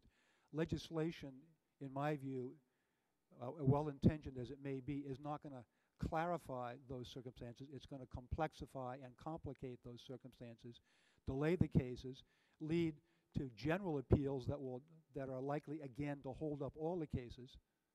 And in contrast, uh, Judge Leon and Judge Hogan are now moving these cases forward rapidly on schedules which they're very uh, easily able to handle and establish, and, and the cases are going to be tried, it appears, in a relatively near future. Certainly my case is in front of Judge Leon. So I understand why the Attorney General administration say that, Mr. Chairman, but I don't think that the result will be anything that any of us will be proud of, as Mr. Davis and Mr. Katyal were saying about what's happened in the military commission area. Thank you. I, I, I was, uh, I should have uh, read the Attorney General's uh, quick summary before asking you that question, Ms. Oleskey, but let me do that very quickly, and then I'll ask uh, for brief comments from each of the other three panel members. One, prohibit federal court from ordering the government to bring enemy combatants into the United States. Two, adopt procedural safeguards to protect the sources and methods of intelligence gathering. Three, to ensure that habeas proceedings do not delay military commission trials of detainees charged with war crimes. Four, acknowledge explicitly that this nation remains engaged in armed conflict with Al Qaeda and the Taliban and associated organizations, and reaffirm that for the duration of the conflict against these groups, we may main, the United States may detain enemy combatants. Uh, fifth and last, establish the sensible procedures for habeas challenges uh, going forward by ensuring that the one district court has exclusive jurisdiction over the proceedings. And, and excuse me, there's a sixth one, limit the ability of detainees to pursue other forms of litigation. Yes, So, uh, that's, uh, th- th- those are the six recommendations made by the Attorney General. Let me ask if you have comments or thoughts on them, we'll go right down the line. uh, Let me, let me just Caton. comment specifically, uh, Mr. Chairman, on those six points then. Yes, Uh, Release into the United States, uh, the Supreme Court was very clear, the law is clear that a habeas judge can't release anywhere. He can order a conditional release in this case, or, or she can order a, a, a conditional release, subject to the decision by the executive branch about uh, how to return and where to return the particular prisoner. So I think that's not a real issue as I see it. In terms of classified evidence, uh, Colonel Davis has referred to how the military commissions handle that. There's a federal statute that the Congress enacted, the CIPA CIPA statute, that provides procedures for that. That's been done in every uh, terrorist criminal trial I can think of. I don't think more legislation is needed on that. Uh, Chim, uh, the uh, ranking member commented on delaying the military commissions as not being in anybody's interest. I think we all agree that. I can't see how further legislation at this time with cases going forward would not delay those cases and resulting appeals. Others may differ. The president right, president's right to detain enemy combatants is something spelled out in the authorization for, for use of military force resolution of the Congress of September 18, 2001. That's in the process of being worked out as to what it means as to each detainee on a case-by-case basis. That's what has to happen. Uh, uh, each detainee has a different story, a different set of facts, and the government's right to detain them further will turn on where they fit in the scheme that you all outlined in general in that resolution. I don't believe that that needs further clarification at this time. Consolidation of cases, the Supreme Court said they should all be heard essentially in one court. They're all being heard in the district court right down the street, as I said. and they're all being consolidated for preliminary purposes before two judges who are ruling on all the general and common issues that are likely to arise.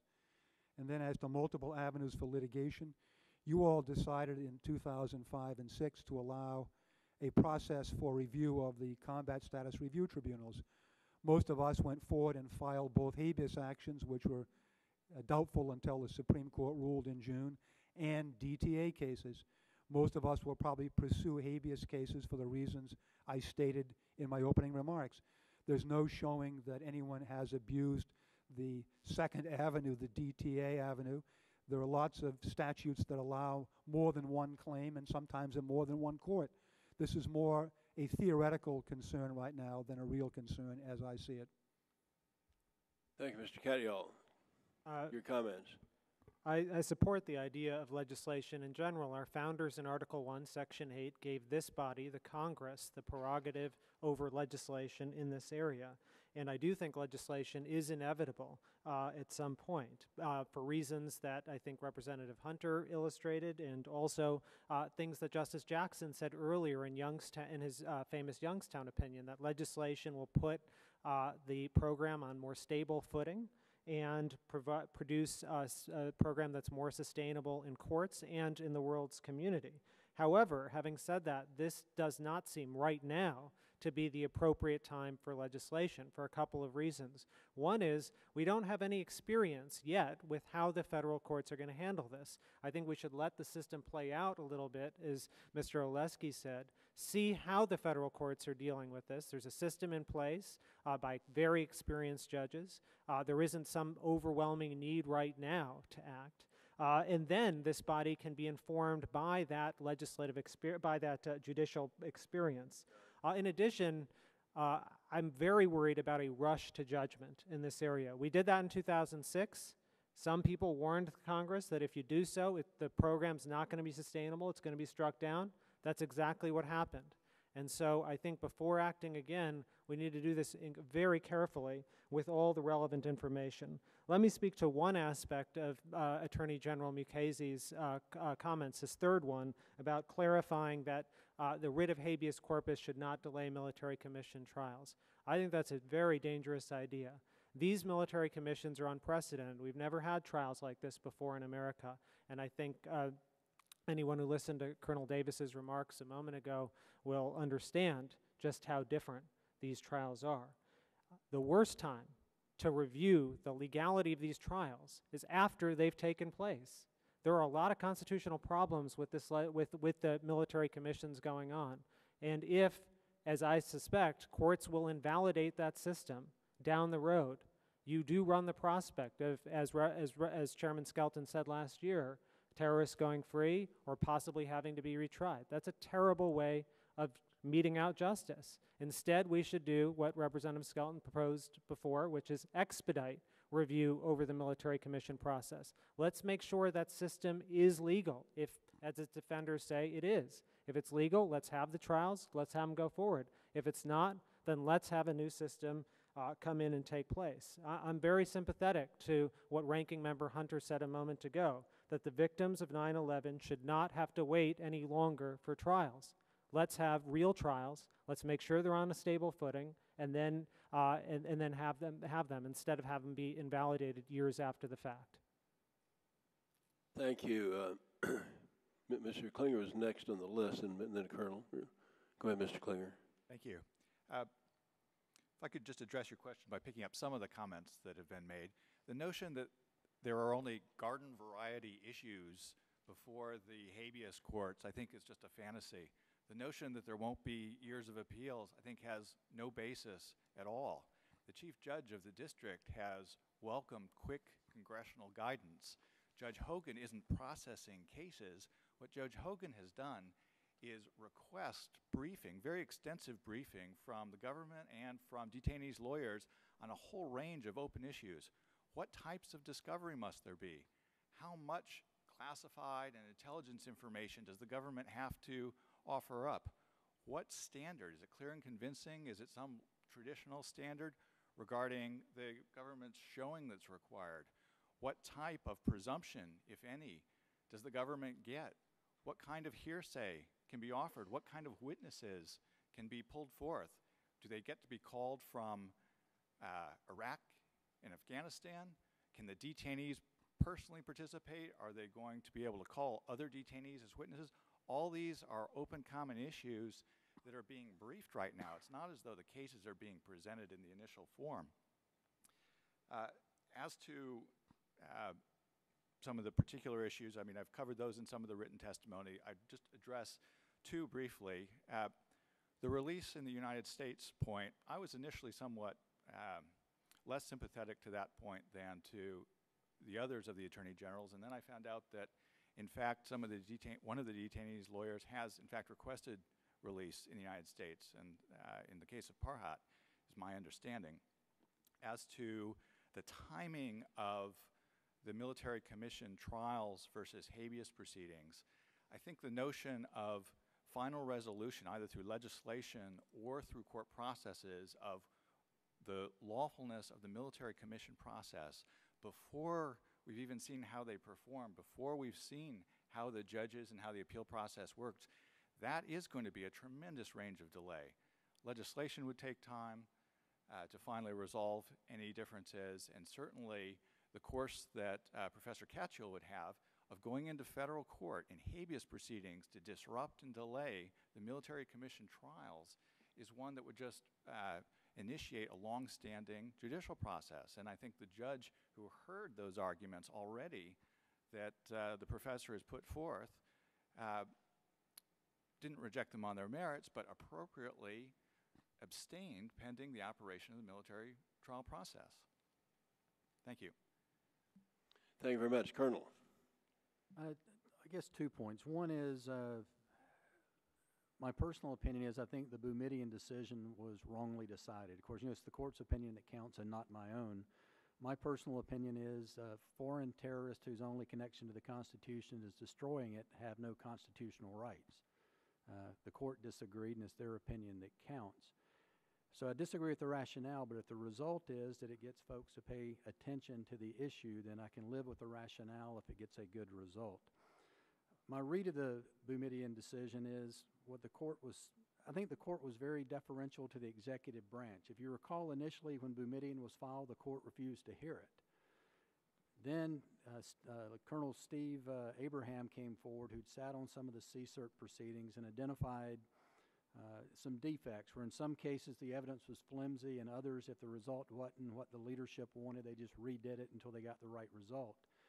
And then, amazingly, the, you know, the only time in my lifetime the court reconsidered and agreed to hear the Boumediene case, which to me, and then the decision itself, is an expression of a lack of confidence in the executive branch to do it right that folks have a right to some meaningful review before they're locked up for in excess of 80 months. And the you know, I think the, the Attorney General's comments are somewhat disingenuous to kind of throw down the gauntlet and say Congress has got to fix this in the next couple of months when the administration's had 80 months since the President signed the order in November of 2001 to get this right, and they haven't gotten it right. It was frustrating over a year ago when the court granted review in Boumediene. About that same time, we had two cases down at Gitmo, Khadr and Hamdan, where the judge, judges in those cases dismissed charges for lack of jurisdiction because there was a disconnect in the wording. The jurisdictional language of the Military Commissions Act said we have jurisdiction over unlawful enemy combatants. The regulation for the CSRT process requires that tribunal to make a finding the individual is an a, uh, enemy combatant but not an unlawful enemy combatant. So we had a disconnect in the language. There were a number of us that proposed, since we had two problems then. You had Boumediene was being heard by the Supreme Court.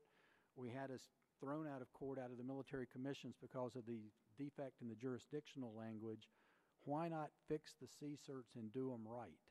Which hopefully would uh, allay the concerns of the Supreme Court and also fix the jurisdictional problem. But it is tended to be the case quite often. There were a few people that, uh, what I've described many times, I think it was a combination of arrogance and ignorance that they knew the right way to do it and they didn't need any assistance with doing it right. So rather than fix the CSRTs, uh, here we are more than a year later, you know, with this mess, and the Attorney General suggesting that you've got to fix it the next couple of months, and I think that's wrong. Colonel, thank you. Mr. Hunter? Thank you, uh, Mr. Chairman, and again, and gentlemen, thank you for your uh, testimony. Um, you know, again, I'm looking at this at this bundle of rights that uh, that we went over, Senate and the House, when we put together the Detainee uh, uh, Treatment Act and the Military Commission Act.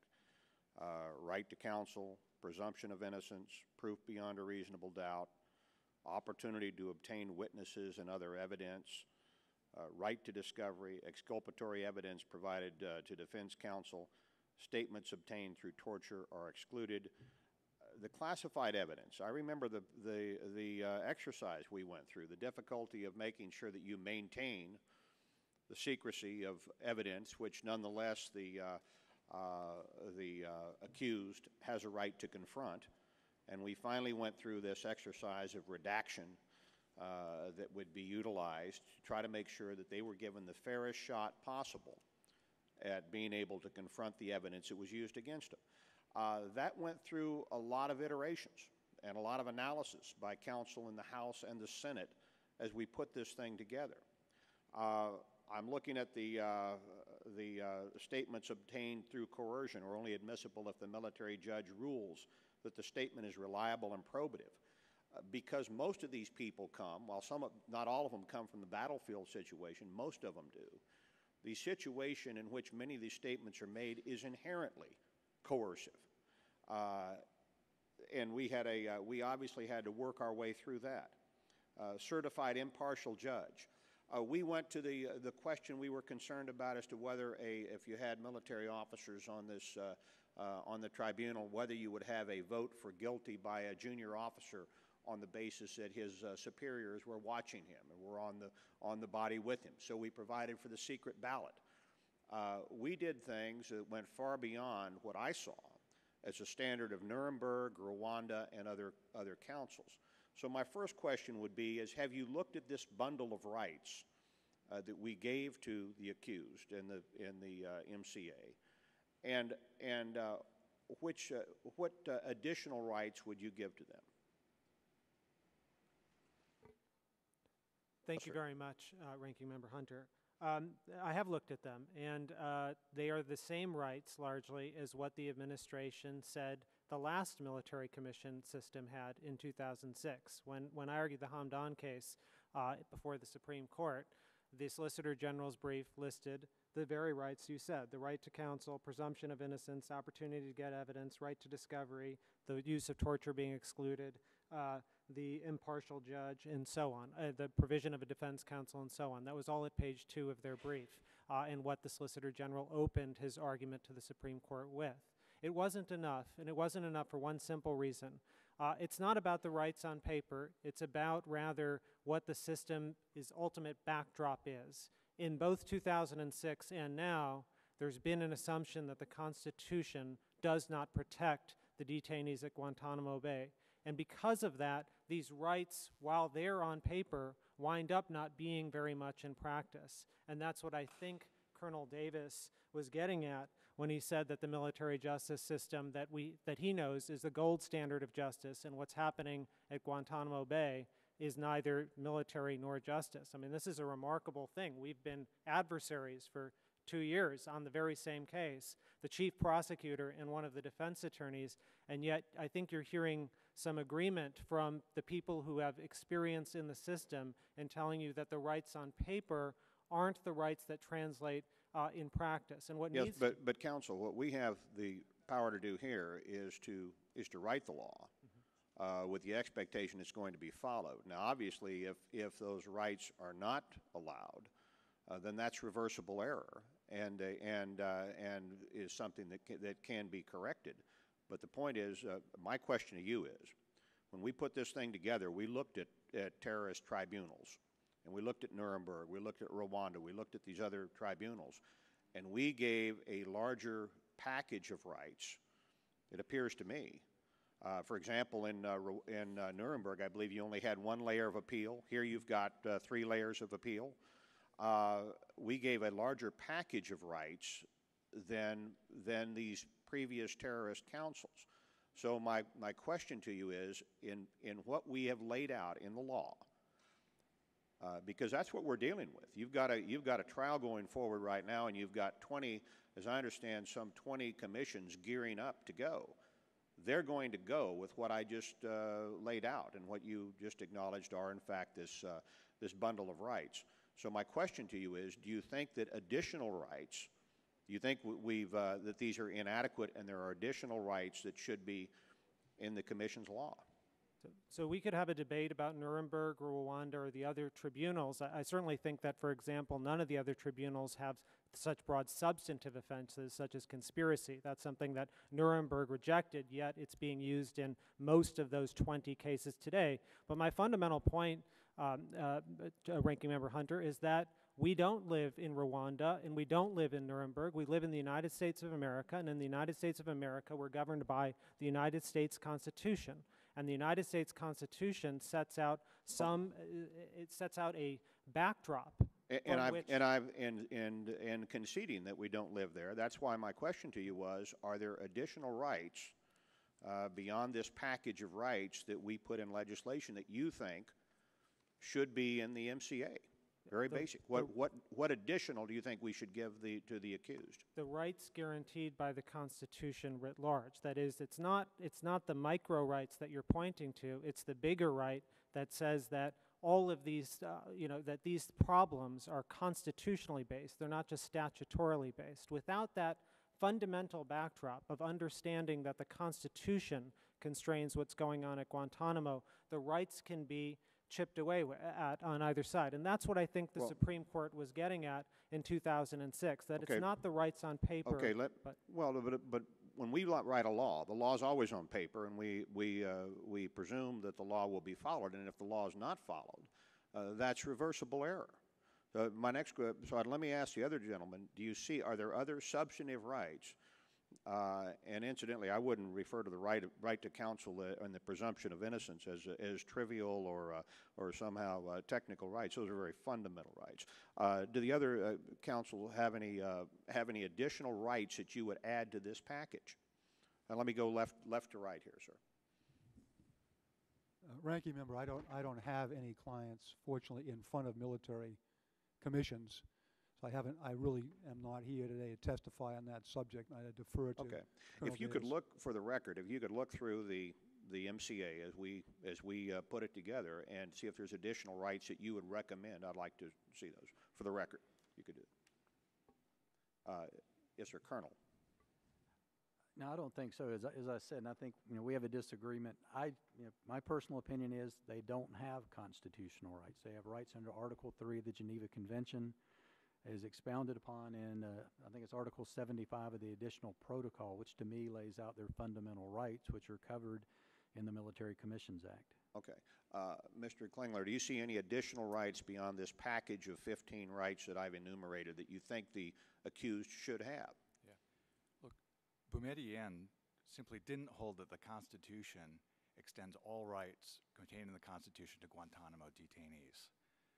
I think that that's a mischaracterization of the decision, and I think there are contrary court decisions. I think the short answer to your question is that the only point that Boumediene called into question is potentially the exclusive direct review in the federal courts and the preclusion of habeas rights after there's any conviction that takes place. Okay, let me, let me, um, uh, let me go to the habeas rights.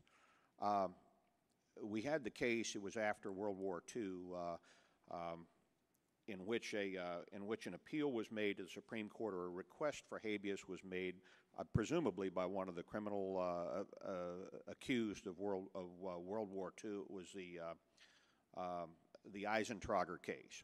And the Supreme Court, this was, uh, the Supreme Court was, uh, was uh, requested to give habeas, but they were imprisoned outside of the United States, and the, decision by the court was they didn't have a right to ask for habeas.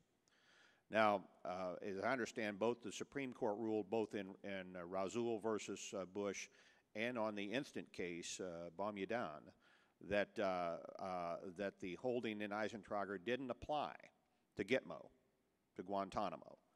So, so here's my question. Uh, you've, uh, you've all described to some degree, or at least uh, several of you have described uh, uh, habeas as a um, as rising from from uh, from basic American values, and I think the the chairman laid that out in his opening statement. But the court in in Eisentrager said, "Wait a minute."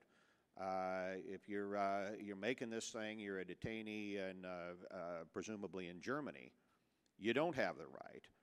And the recent court said, we still agree with that. If if you weren't in Gitmo, we wouldn't give you that right. So my question to you is, uh, do you think that the detainees in uh, in Iraq uh, and Afghanistan because when we when we talked about Guantanamo, we talked about control. We said, wait a minute, maybe Guantanamo is not a state, but it's definitely under American control. It's an extension of American control. That same argument could be made with respect to people that are under the supervision of a Marine sergeant in Afghanistan or Iraq. So my question to all four of you is: Do you think that uh, that habeas should be applicable uh, to detainees that are held in other parts of the world, in and specifically Iraq and Afghanistan? I'll just go from left to right. What do you think? I think the, the court was um, proceeding cautiously on that question as I read the decision. What they were saying was that what you have in Guantanamo is not only a place under total United States control and dominion, you also have people who've been held without any approximation of process for six and a half years.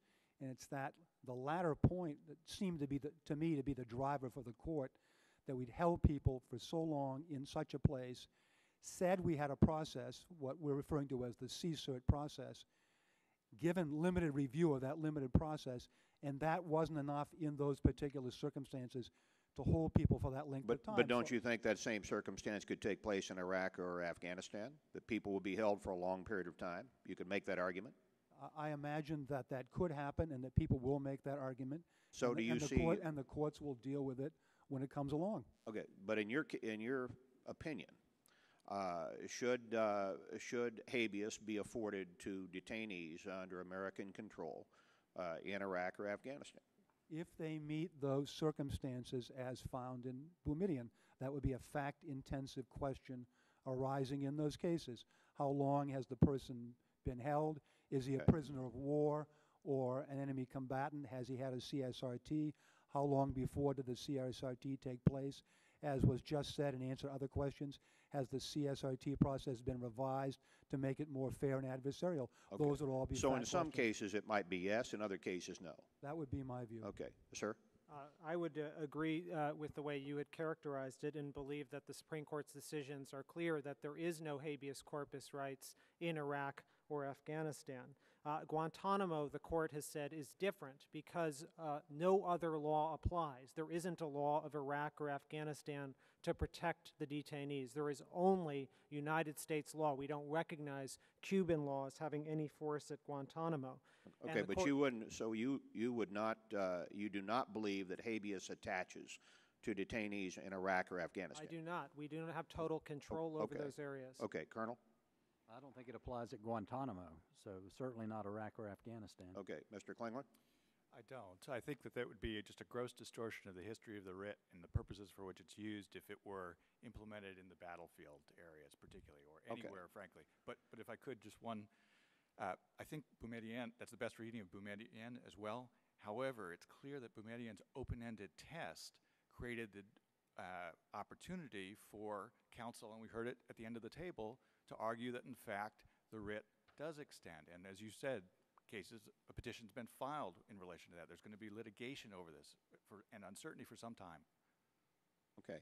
Uh, The Miranda rights, uh, the right to, because you've, you've talked, uh, uh, gentlemen, about the uh, need to not uh, undertake, to not accept testimony has been coerced, and by its very nature, the battlefield is coercive.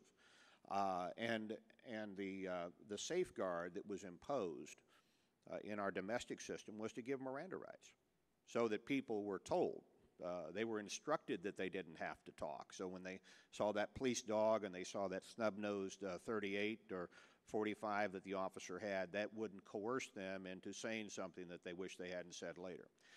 So we had we inserted that that safeguard.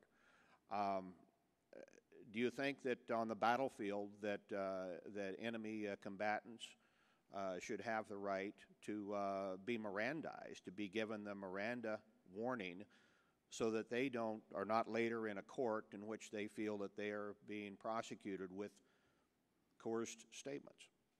Uh, left or right, what do you think? I don't think the Supreme Court was saying that. I think the, the Well, court. no, I'm not asking what the Supreme Court said. I'm asking, I mean, they, they made a statement on a limited area. I'm asking for your expert opinion or your feeling uh, as to whether that's, that is a, uh, uh, that is a, a right that should be afforded to enemy combatants to ensure that they don't make coerced statements.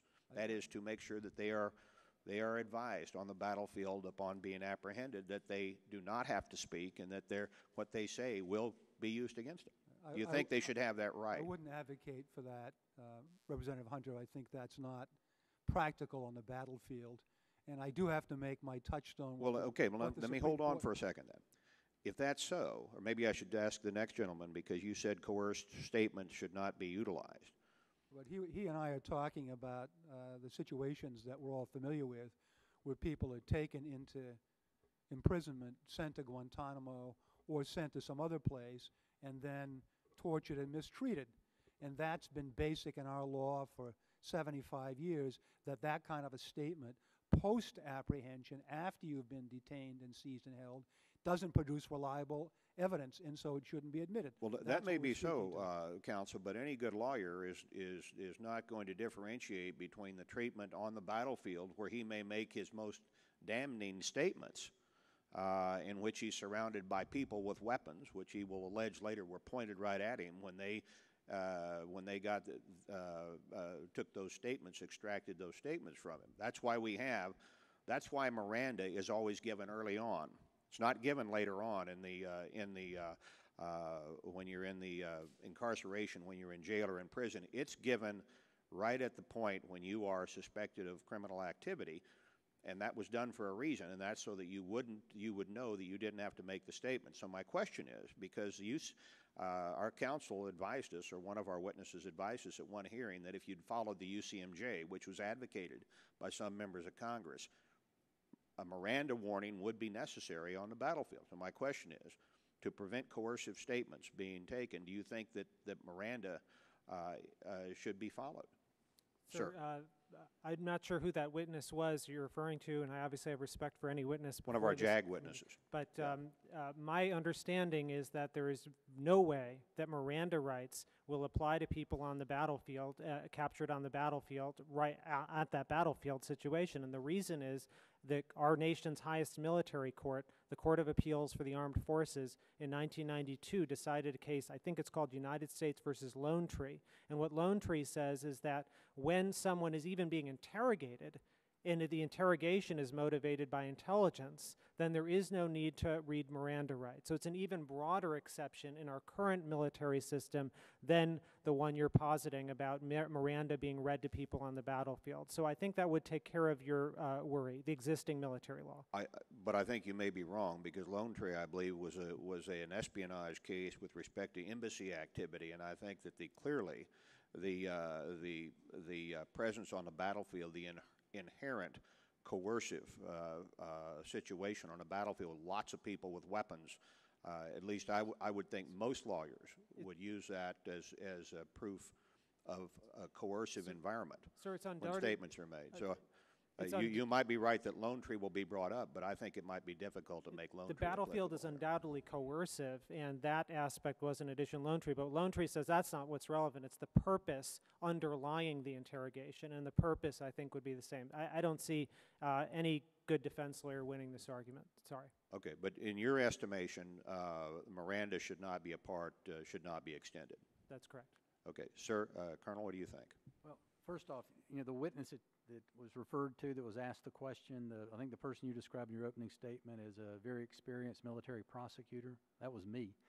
I was sitting in the back row at the hearing that you were the chairman of, and the issue came up. That, don't know if you that was you, that's That was- right. We said if you took the, uh, if you took the, uh, the guy shot at you with an AK-47, because we had a number of members saying, why can't we use UCMJ? Right.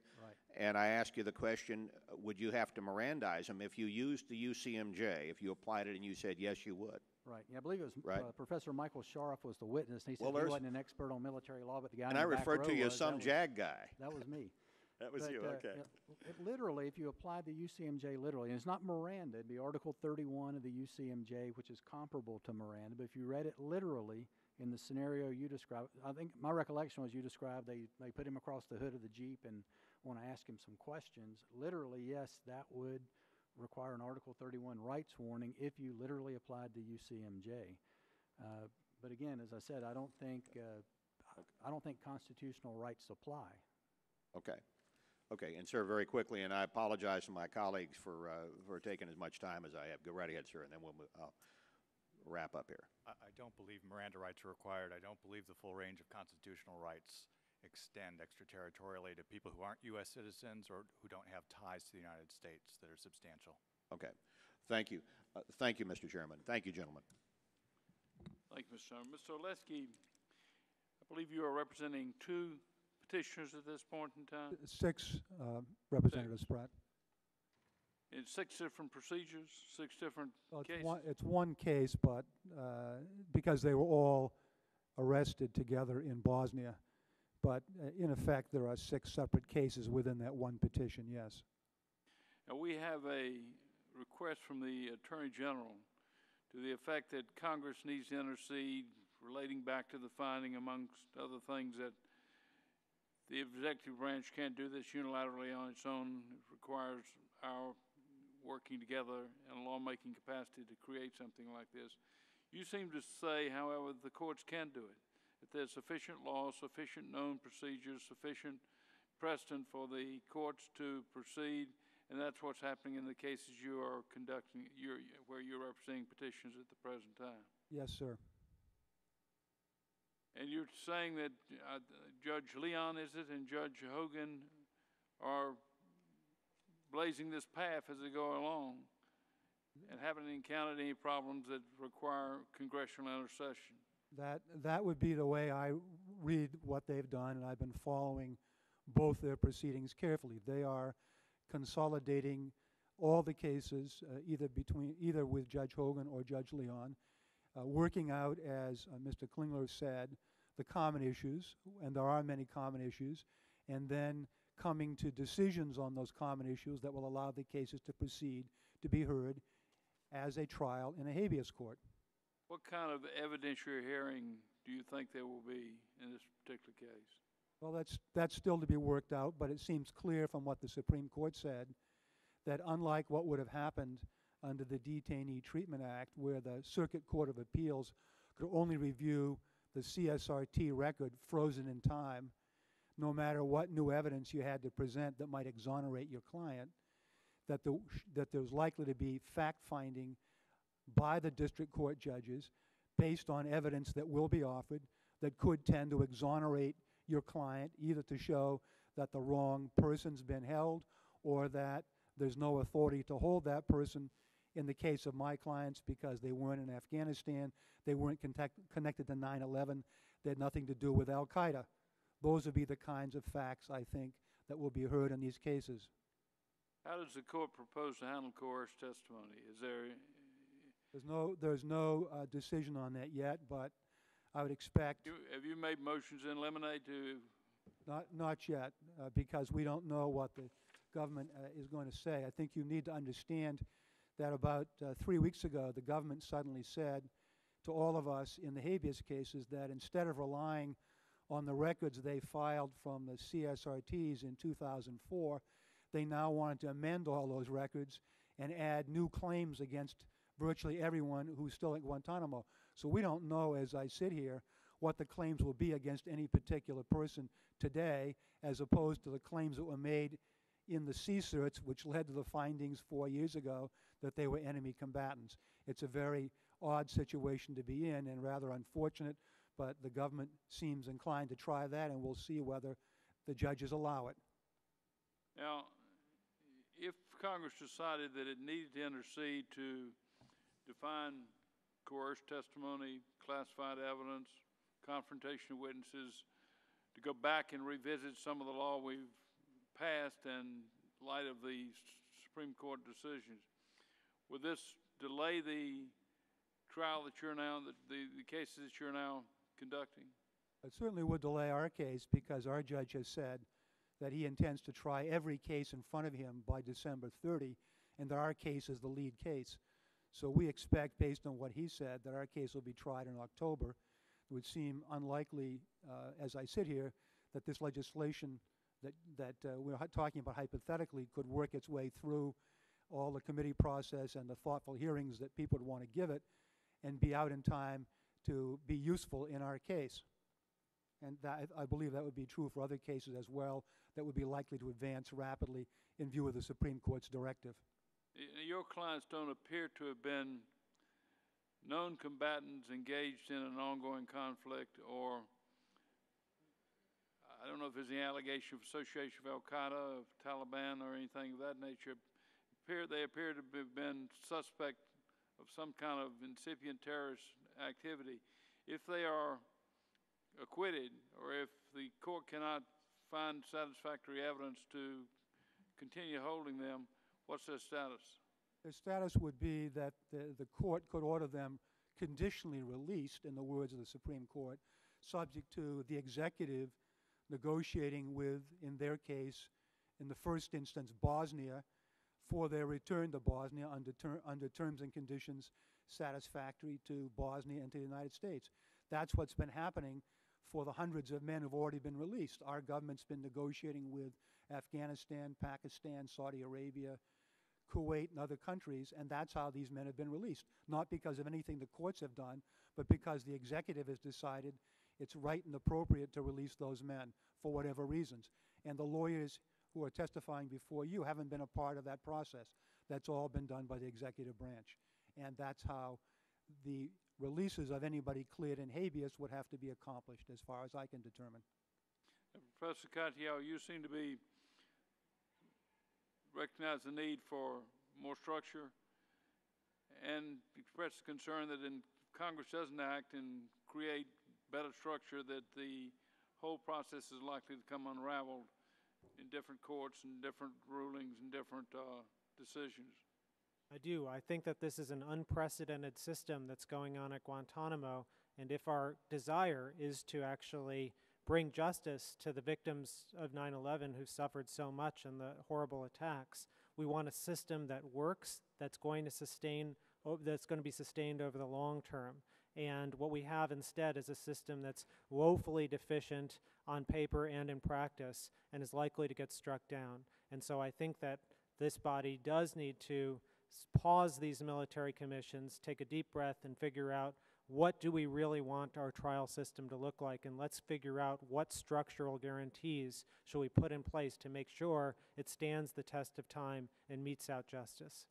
Are you concerned about the delays it may cause and the concerns on the part of counsel like uh, Mr. Oleskey that uh, he could deny his, his clients uh, speedy justice? Oh, I'm deeply concerned about that. I certainly don't think that Congress should interfere with the ongoing process at this point in habeas corpus hearings that are on that that judges in the Washington D.C. courts are undertaking at this moment. I think we should actually use that as a basis for legislation, if any, in the future.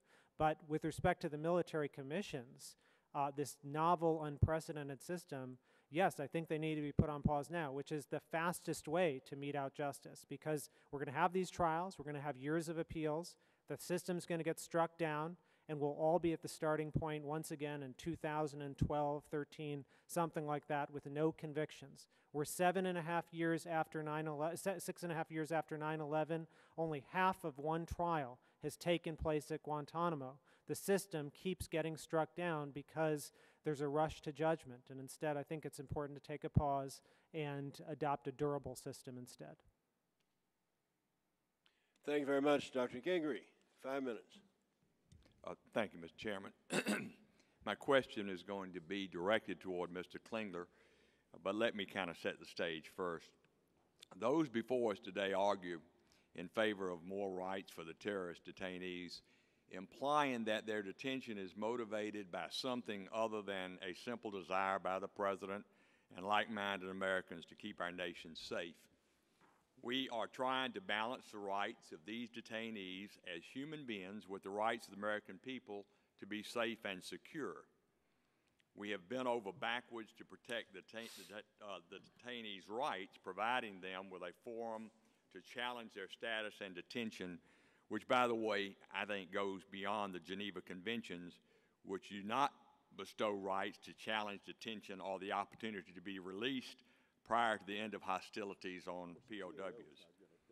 Many of those we are continually seeking to confer uh, more and more rights upon have been involved with terrorist groups that have absolutely no respect for Geneva or international law. In fact, they behead prisoners, they fight out of uniform, they hide amongst women and children.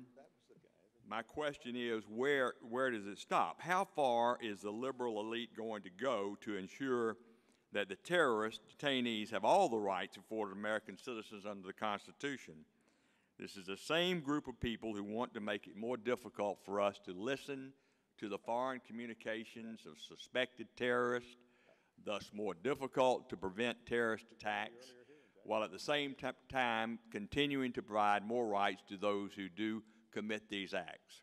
Mr. Klingler, this is absolutely appalling to me.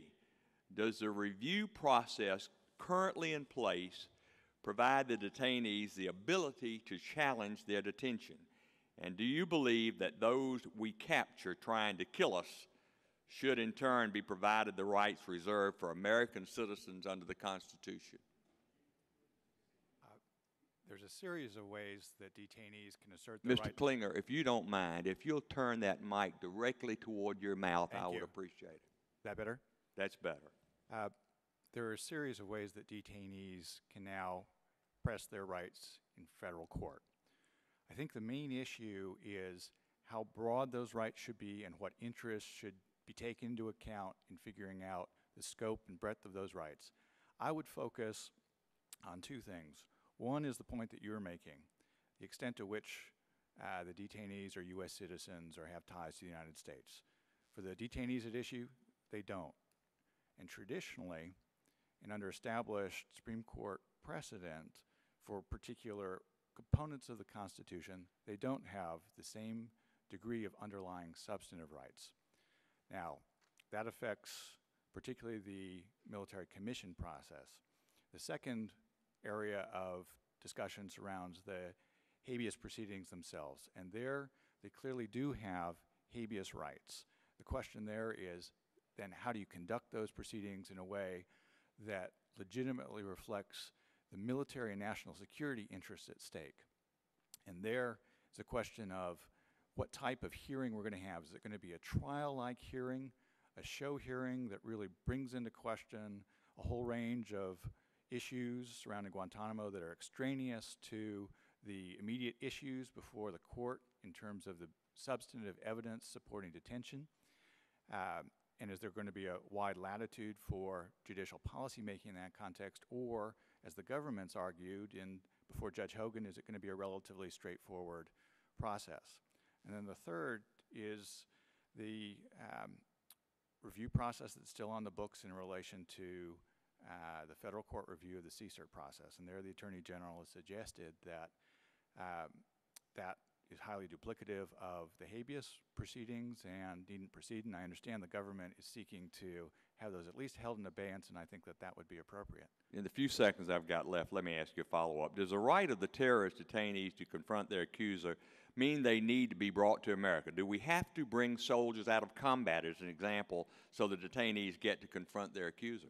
Well, I- would argue that the right of confrontation is a, is a criminal right that wouldn't apply in the habeas context at all, and that it would be perfectly appropriate for courts to uh, allow that evidence to be presented through hearsay evidence rather than pulling uh, American soldiers from Iraq and Afghanistan. And finally, uh, if the courts force the release of certain detainees, can they be released in the United States? Do judges have the right to say where they can be released? Uh, that's that's an open issue. I think that that uh, is very possible, uh, and I expect that the detainees' lawyers will argue that. Thank you very much. Dr. Snyder? Thank you, Mr. Thank you, Mr. Chairman. Um, for you sitting at that table that are defense attorneys in this business, I hope that you won't uh, go out of here thinking you're going to have opportunities at some time to use the Miranda uh, absence as a way to get your uh, your clients off the hook. There is not now, nor has there ever been, any interest by any member of Congress in applying the Miranda warnings to the battlefield, and I don't know why that topic keeps coming up. It was a red herring. Every year it's been brought up since this war began, and uh, there's not even point in talking about it. When you, would the gentleman no, just Mr. yield on that no, for one no, second? mi- No, Mr. Duncan, it's, it's five to twelve. Most of us have been here for almost two hours. Uh, the clock finally has been working after an hour and fifteen minutes. It wasn't used. I, I want to take the remaining time I have. You'll have all the time, unlimited time you want to when the rest of us are done. I, I, let me please finish my question because I don't have. Well, then, uh, if the gentleman is going to bring up an issue that I, that I brought up and he wants to, he wants to discuss it in a Chairman, meaningful I'd way, I like hope he would give me the opportunity to respond to it. Because Uh, that, that issue was brought up and that was offered as The, a uh, part of the- the UCMJ. Mr. Chairman, I would respectfully The- the- request that my five minutes be begun anew. And, and I would second his request. I think that's fine. Start the clock over again. Thank you very much. There, now. I'll repeat what I had said, which is there is no interest in this Congress in applying any Miranda warning to the battlefield. And if anyone were to apply it, I can assure you that every member of Congress and the American people would be shocked and would not want that. So don't, you defense attorneys, don't take heart by anything said here today. Uh, Colonel Davis, what I wanted to ask you about was, Uh, in, in your statement, I, I sensed almost almost hopelessness that the military commissions can ever be revived with the integrity that you thought they would have at the beginning of it. But you, a, a, a glimmer of hope, and you give four suggestions about how to give them. And I want to re, read what you say in your statement. One of them is ensure the independence of each component in the military commission process. Another one, make openness and transparency of the proceedings an imperative. The fourth one, expressly reject the use of evidence obtained by undue coercion. It's the first one that concerns me the most here, in which you say, put the military back into military commissions and take the politics out. And in your written statement you provide to us, I mean, very clear, you highlight, take the politics out.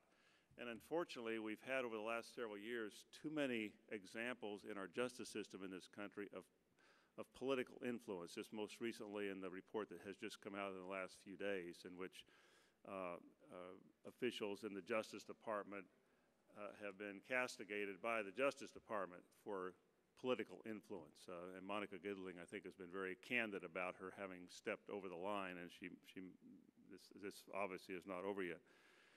As I read your written statement, you, you, you're at least implying, if not alleging, that you thought there was political influence being exerted leading up to the 2006 congressional elections in this country, and then also that political influence was being exerted perhaps to help uh, Prime Minister Howard in Australia, who uh, subsequently lost his election. Is that your allegation here?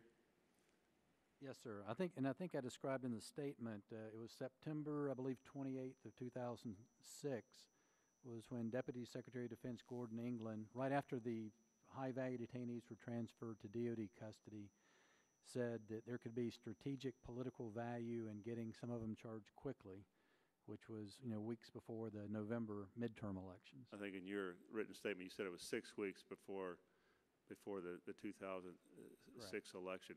You know, I, I think uh, you're all, Mr. Hunter has been very eloquent today, as have some of you, about the, the importance of these, uh, these uh, trials. Is it's not just our safety; it's bringing justice to those families that uh, lost so many people on uh, September 11, 2001 and and to see this process, you may not be right, Colonel Davis. You're a very well respected man. You may not be right in your allegation, uh, but I think, Mr. Chairman, this these allegations concern me as much as anything we've read today. That it's not just some political appointee stepping in in the spirit of Colonel Davis. You're not doing this job well enough, but stepping in in the spirit of trying to influence an ally's election or trying to influence uh, the congressional election. I, I, I don't know where this aspect of this hearing today is going to go, but uh, it's very concerning to hear a man of your um, experience and the position that you held in, in Guantanamo uh, make those kinds of allegations. Uh, And, uh, Mr. Chairman, I'll yield any remaining time I have to Mr. Hunter for any comments he wants to make about the Miranda warnings. Well, I, I- I thank uh, my uh, colleague for yielding, and simply say to my colleague uh, that that was, that when we had our testimony with respect to what body of law we were going to follow when we put together the MCA, we had witnesses who testified that they thought that the UCMJ, the Uniform Code of Military Justice, was the right blueprint. Now, it was important for us to establish what ramifications that would have. And when I asked the question, what would that mean on the battlefield? In fact, the very colonel you have in front of you here, who I think you find to have some good degree of credibility, testified. If we adopted that, and you may recall, that was actually recommended by several members of the Senate who were uh, initial architects of the bill, that we follow the UCMJ. He testified to us, he said, you can't do that, or he said, if you do it, you are going to require Miranda on the battlefield. So that's not a red herring that's thrown up uh, um, as a matter of, uh, of uh, something that's trivial to the discussion. That was a, that was a real ramification of a substantive direction that was, uh, that was, uh, that was testified to by witnesses and recommended by some of the architects of the bill. We are now looking at some expansions that may take place in terms of, of the rights of the accused. I think it's an, it's an absolutely appropriate question to ask him. But I thank the gentleman for yielding to me so, so that I might uh, describe that. The time has expired, uh, Mr. Bartlett. Thank you very much. We're a very blessed people. We are one person out of 22 in the world, but we have a fourth of all the good things in the world. I've often asked myself the question, why? It's certainly not because we have the world's best work ethic. All you have to do is look at some of the immigrants that are among us, and that will be clear. It's not because we have the most focus on technical education. This year, India will graduate three times as many engineers as we graduate, and China will graduate six times as many engineers as we graduate. It's not because we have the most commitment to the nuclear family. Nearly half of our children are born out of wedlock. There may be other reasons, but I think that it's largely because of our enormous commitment to civil liberties. There is no other constitution or no other Bill of Rights in the world that comes close to ours. I think this has created, established an environment in which creativity and entrepreneurship can flourish. To deny these rights, I think, puts at risk that we can continue to be who we are. If we set aside these great constitutional guarantees, even for national security reasons, have we not admitted that the enemy has already won? And the most important security of all, the insurance of our civil liberties, is seriously at risk because who next, by edict, might be denied these great constitutional guarantees? Therefore, I was very dismayed by our Gitmo statement that one, since the det detainees were unlawful combatants, they should not be afforded the protections of the Geneva Conventions. I don't know how they thought to get around Geneva 4. And two, since they were not on U.S. soil, the constitutional protections did not apply. One might logically conclude from these statements that we intended to treat these detainees in ways precluded by the Geneva Conventions and our Constitution. The constitutional issue seemed very clear to me. If they were under our control, no matter where they were physically, our Constitution applied. Even if I agree that unlawful combatants should not be afforded Geneva Convention protection, how can I know that they're unlawful combatants minus a court trial that found them so?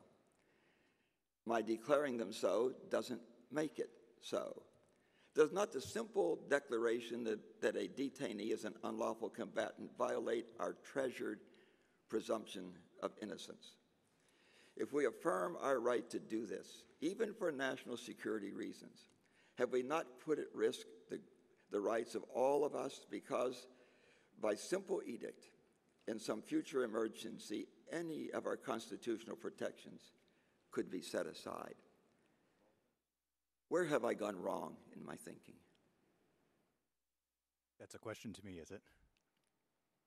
Uh, I agree with most of what you said. I think that uh, national security should not trump constitutional rights. I think, though, that uh, what is at issue is what the scope of those constitutional rights are. I don't think, and I don't think that the court's precedents uh, support the conclusion that simply because a person is under the control of the U.S. military or even uh, at Guantanamo outside the United States proper, that the full range of constitutional rights apply. I direct you to uh, Verdugo And the cases cited there, some of the insular cases. So the issue isn't balancing or setting aside constitutional rights, but ensuring that there is a clear understanding of what those are and that there isn't an assumption that simply because the suspension clause has been held to apply to Guantanamo, that the full range of constitutional rights does so. I don't think that's what the Supreme Court said. I don't think that's how you can fairly read the decision.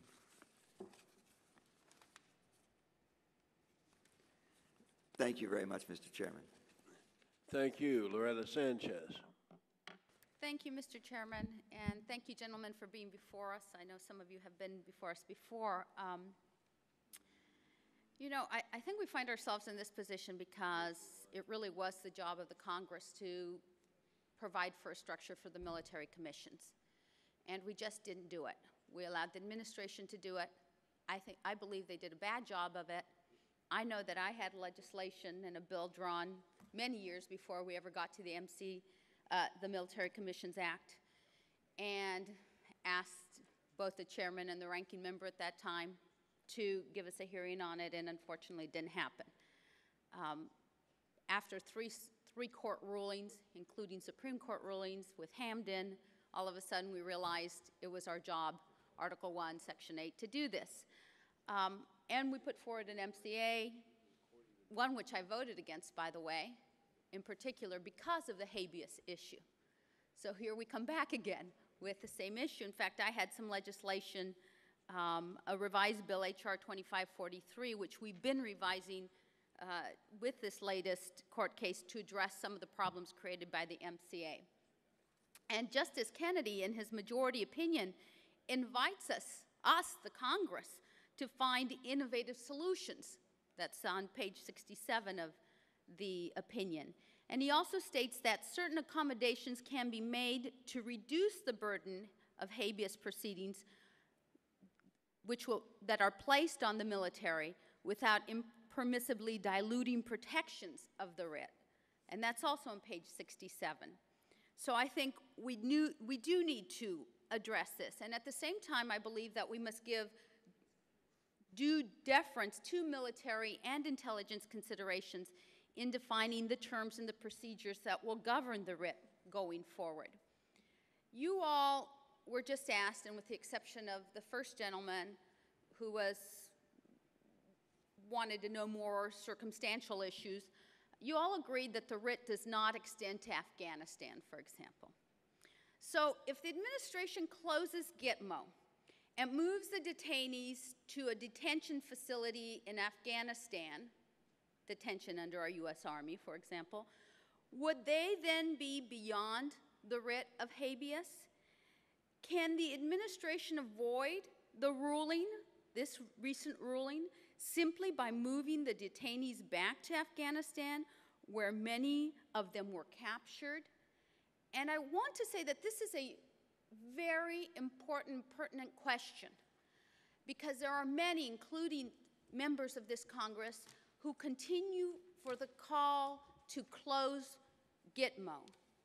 And I have always felt that closing Gitmo would mean the transfer of these detainees back to Afghanistan, where they would have uh, less access to the media, because it's a combat zone, less access to this Congress as the overseer to some of this, again, because it's a combat zone, um, less access to the International Red Cross and others. So, would these prisoners also be deprived of habeas if they were moved back to Afghanistan? That's my question for all of you. Let me, let me take the first uh, crack at that, Congresswoman. Um, The court now has jurisdiction over, uh, the habeas courts have jurisdiction over everyone in Guantanamo, uh, uh, as far as I know. I don't think that the courts would permit the executive unilaterally to move people within its jurisdiction on pending habeas cases to Afghanistan or anywhere with the intent of ousting the jurisdiction of the courts. And I don't believe that the executive would do that, understanding and knowing that these cases are pending. I think Secretary Gates has made uh, many important statements about his views of Guantanamo. There's nothing in what he says that leads me to believe that he would be a party to any such action. So while it's a theoretical possibility, I don't think the administration would do it. It would set up a conflict with the courts that would be uh, very damaging, and I think if it was attempted, that the courts would act to prevent it. Let me begin by thanking you for your historic leadership on these issues. I wish that Congress had listened to you many years ago. We would have had trials underway in a system that would have been stable. Um, and instead, we find ourselves seven and a half years later, six and a half years later, without a trial taking place. With respect to closing Guantanamo, uh, I don't think the reason to close Guantanamo is really just about human rights of the detainees. It's about America's self interest. As Secretary Rice and Secretary Gates have said, Guantanamo is a foreign policy disaster. And so I think the reasons for closing it are not as much about the detainees, but about us. I think if the, de the detainees who are currently there are moved outside to an area outside of court control, I do think that the federal courts may have something to say about it with respect to those current detainees. What But- about the future of somebody in action, caught in the same way, and now held in the prison in Afghanistan, controlled by the U.S. military, even though there are Afghan laws, those necessarily wouldn't apply to our facility holding somebody who's a combatant supposedly against us. Ex- Precisely correct. That is, and I think that's happening now. That is, there aren't many detainees being brought, brought to Guantanamo. And the reason Guantanamo exists, the reason we used it in 2001, wasn't because the military liked the weather. It was because the Bush administration had a legal fiction that they could bring people there and have them outside of the control of the United States courts. Now the Supreme Court has emphatically rejected that idea, so Guantanamo has outlived its usefulness in terms of being an escape from federal court processes. The, the gentlelady's time has expired. The monitor's not working, but time's up. I love being called on that after waiting for two hours. Thank you, Mr. Chairman. You have bet. Five minutes, Mr. Murphy. Thank you, Mr. Chairman, and uh, I thank the panel for being here today. Um, I would start by saying, uh, Colonel Davis, thank you for your service to our country, and I think it's very appropriate that today in your opening testimony you cited the prosecutor for the World War II saboteurs who said that, uh, he said this in 2001 in his op-ed, as you mentioned, that how we prosecute al-Qaeda members will say just as much about us as it'll say about those al-Qaeda members. Um, the petitioners in the uh, Boumediene case specifically asked the court to make a ruling on exactly who the administration can indefinitely hold as an unlawful enemy combatant uh, pursuant to the 2001 authorization of the use of military force. The court, however, has been silent on that issue. In subsequent cases after the Boumediene, they make their way through the courts, such as the Al-Marri case and the Parhat case. It is becoming increasingly clear to uh, this Congress and myself specifically that we'll have to re-examine this question in the near future. Uh, Mr. Oleskey, as counsel in the, in the Boumediene case, let me ask you, in your opinion, does the 2001 AUMF allow the President to detain in perpetuity someone who has, no, has little to no tangential connection to al-Qaeda and who has not engaged in any belligerent acts against the United States? And a follow-up, does the Constitution give the President this authority? Uh, I think that uh, the Supreme Court hasn't spoken definitively to the second point, so we don't know what they'll say, but it'd be my view that the, uh, the implication of Boumediene is that the Constitution does not give the President the, in- the authority to, in, to indefinitely detain someone uh, suspected or accused of terrorist activity. The Constitution and our statutory scheme say there is a criminal justice system, and if there is terrorist activity that's not uh, that disqualifies you from POW status, then you, then you indict the person, and we've had many examples of successful indictments and, and, uh, and prosecution. So uh, I think uh, that uh, that's where we're headed on the second question. And your first question again was? Well, one, does the Constitution give the President the authority to do so? And then, um, I think the better view is that uh, you and the Congress intended to give the President limited authority to go after people directly involved in the atrocity of September 11th. Instead, I think what the cases show is the administration used that language to pick up people all over the world on a variety of bases, uh, many of them people who appear to be innocent of any wrongdoing at all, others of whom may have had some activity with radical groups but had nothing to do with September 11th. The great strength of the habeas process that we're now at last embarked upon is it should sort out who those people are and if they have a connection to September 11th, and that's within the authorization, then they presumably will continue to be held, and some of those people, as we've been discussing, will be the subject of military commissions where they may be found guilty or may not. The rest uh, ought to be found, if they're not connected to September 11th and not within that resolution, to be ordered released subject to the executive's right to negotiate their return to some place that's safe for them and for us. yeah, and I think that as the panel understands up, up here and as the members understand, obviously, this is new case law coming out. We're looking at, as today is July the 30th, uh, we've had two significant cases. Obviously, the Parhat case where we're talking about the 17 Chinese, and then al-Marri case where we're talking about the citizen of Qatar who was a U.S. resident.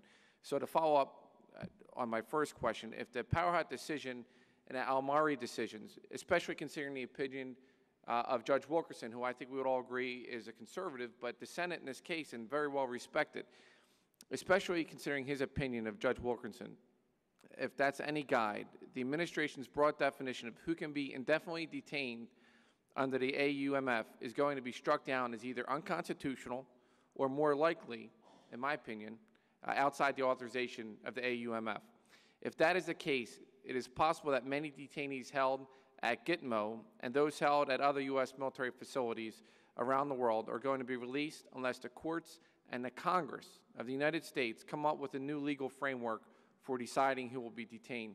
So, Mr. Oleskey, if the court holds that the administration is acting outside the scope of the AUMF, how do you see a path forward for this Congress to work in a bipartisan manner to reach a new legal and constitutionally valid framework that ensures that we are detaining those who are the most culpable and pose the greatest risk, while not, as Judge Wilkinson, I think, astutely noted, uh, breaching this country's most fundamental values.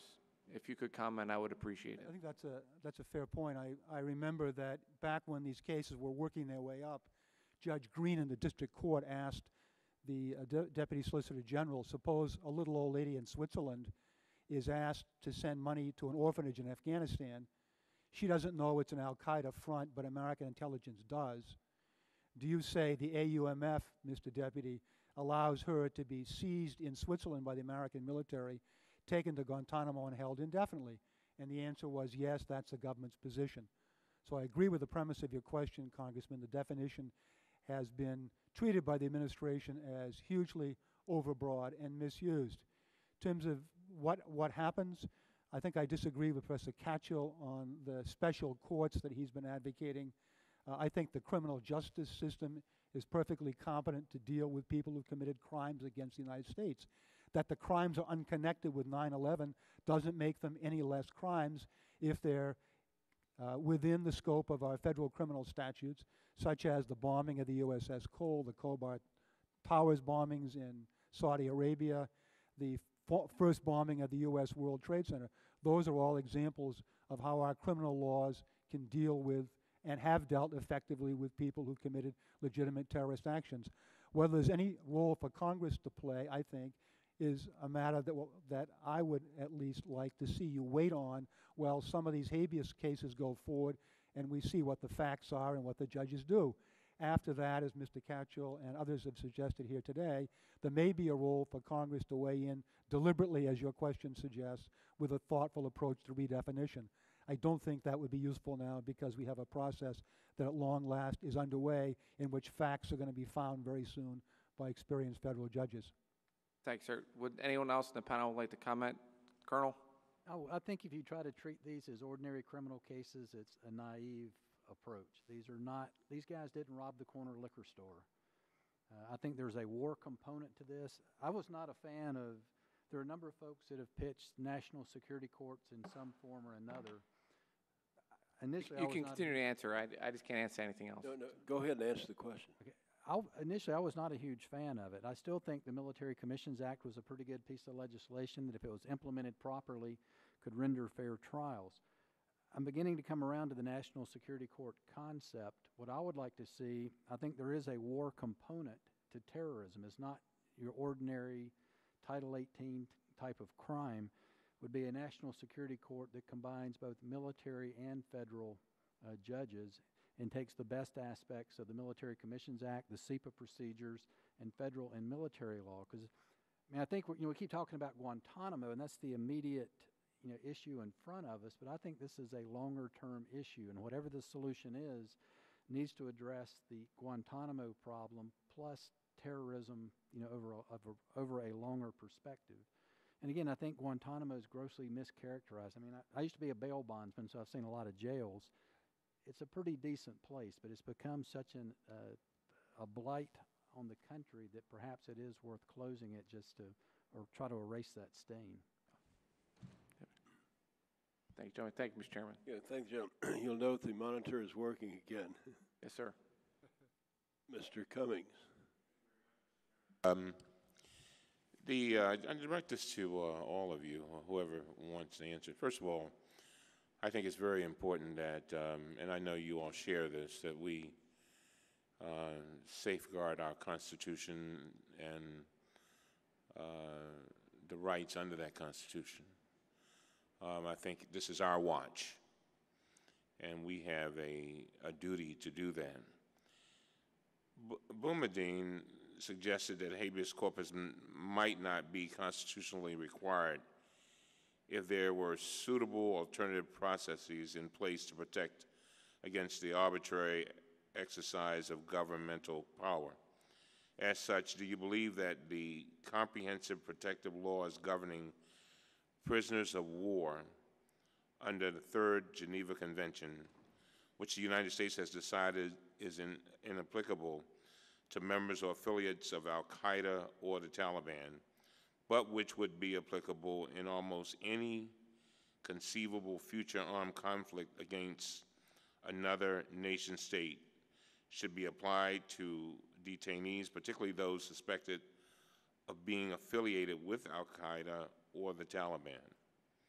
If you do believe that such obligations should be afforded to these individuals, what dangers exist in the United States failing to ensure that these detainees' rights are protected as POWs? How can we ensure as a nation that we are balancing our priority of protecting our nation from any prospective act of terrorism, something that we must do, while ensuring that current detainees, even those that may be allegedly associated with terrorist organizations, are provided with the protections that they are deemed to have under international humanitarian law and customary law. I'd say if the administration had adhered to the Geneva Conventions, uh, we wouldn't have had these Supreme Court cases and we wouldn't be having this hearing today. We'd have a very different kind of situation. Um, if, as I said earlier, if there are people who've committed violations of international law and American law, there are recognized procedures to follow. The military commissions uh, are being uh, criticized here by lots of us for not providing adequate protection. But the same people uh, on the panel and in the Congress who are criticizing that process are recognizing, as your question does, that we need some way to protect the United States against terrorists and ensure that they don't commit crimes again. So whether it's an enhanced military commission, whether it's a special national security court, there's nothing inconsistent with those approaches to effectively criminalizing terrorist behavior in a different way, in a different process, and still treating people who are not put before those proceedings as POWs in accordance with international law. So I take the premise of your question to be that we can both protect the country and respect our international obligations in a way that makes us, again, a beacon for the world in these areas and not the embarrassment we have become because of Guantanamo, and I agree with the premise. Well, going back to something that Mr. Davis uh, wrote in his testimony, and he talked about how uh, criminals we're punishing is sort of after the fact, and these detainees is sort of before the fact. We're trying to prevent. And, you know, I guess that does present a very different kind of set of circumstances um, when you are trying to prevent something from happening as opposed to saying you did something and now we're going to punish you. And I, I'm just trying to figure out where, where did that concept come from, that prevent concept? Well, in, in uh, the law of war, it comes from the notion that an enemy soldier can be lawfully held during the duration of the conflict so that he cannot return to the battlefield. Mhm. But what the administration has said is that the whole world's a battlefield, not just Afghanistan or Iraq, and therefore anybody picked up who can be claimed to be a member of some radical group or terrorist group or to know somebody who is or to provide some support, however innocently, to that group can be held as if they were a POW for the duration of the war on terror, which, as Justice O'Connor said back in 2004, could be for the rest of your life. So that preventive function that comes out of the law of war doesn't apply as the administration has applied it, and that's why we've had these cases. Thank you very much. Thank the gentleman, Mr. Hunter. Thank you, uh, Mr. Chairman. And, and gentlemen, uh, thanks for being with us and for spending as much time as you have. Uh, and, and of course, it, uh, uh, this is a uh, very timely that you're, that you're with us. So we've got this problem. You've got the habeas right has been, has been extended by the Supreme Court decision.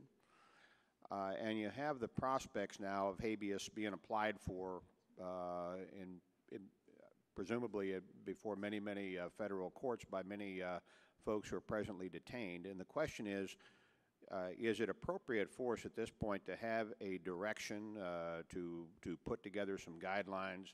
I noticed, I think it's the, the, the D.C. Circuit said if Congress is going to do this, now's the time because it looks like we're going to have, we're going to have the need for directions. I'm paraphrasing, but, uh, uh, but that's essentially their statement.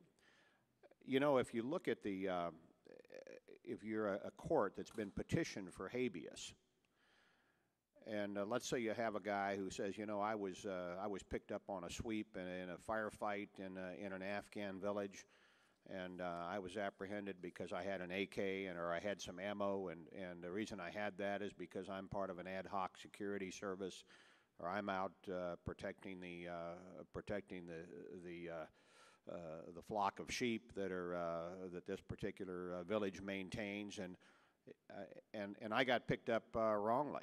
Uh, in a way, the uh, the farmer in the field uh, uh, argument that uh, that has been made a lot of times at Guantanamo. In fact, we've released a number of people at Guantanamo, as as the colonel knows. A few of them went back and picked up arms against us. So we we made a mistake in that case. Uh, we. Uh, we were too lenient uh, and made a mistake of judgment. But my point is, let's, that's thrust in the lap of a federal court. Now, here's a court in the United States, and and the habeas uh, and, and and they ask uh, they they uh, they hold a little prayer meeting with their staff and their uh, judge and say, how do we conduct this? What is our what's the extent of our review? Do we try to get villagers from this small village uh, in uh, in Afghanistan? Do we try to pull back uh, members of the military who are in that particular uh, squad from the 10th Mountain Division that made this sweep? Uh, it looks to me like it's going to be a, a very, very without a without a prescription for for how far they look and what they do and whether or not they have essentially a, a trial on the merits.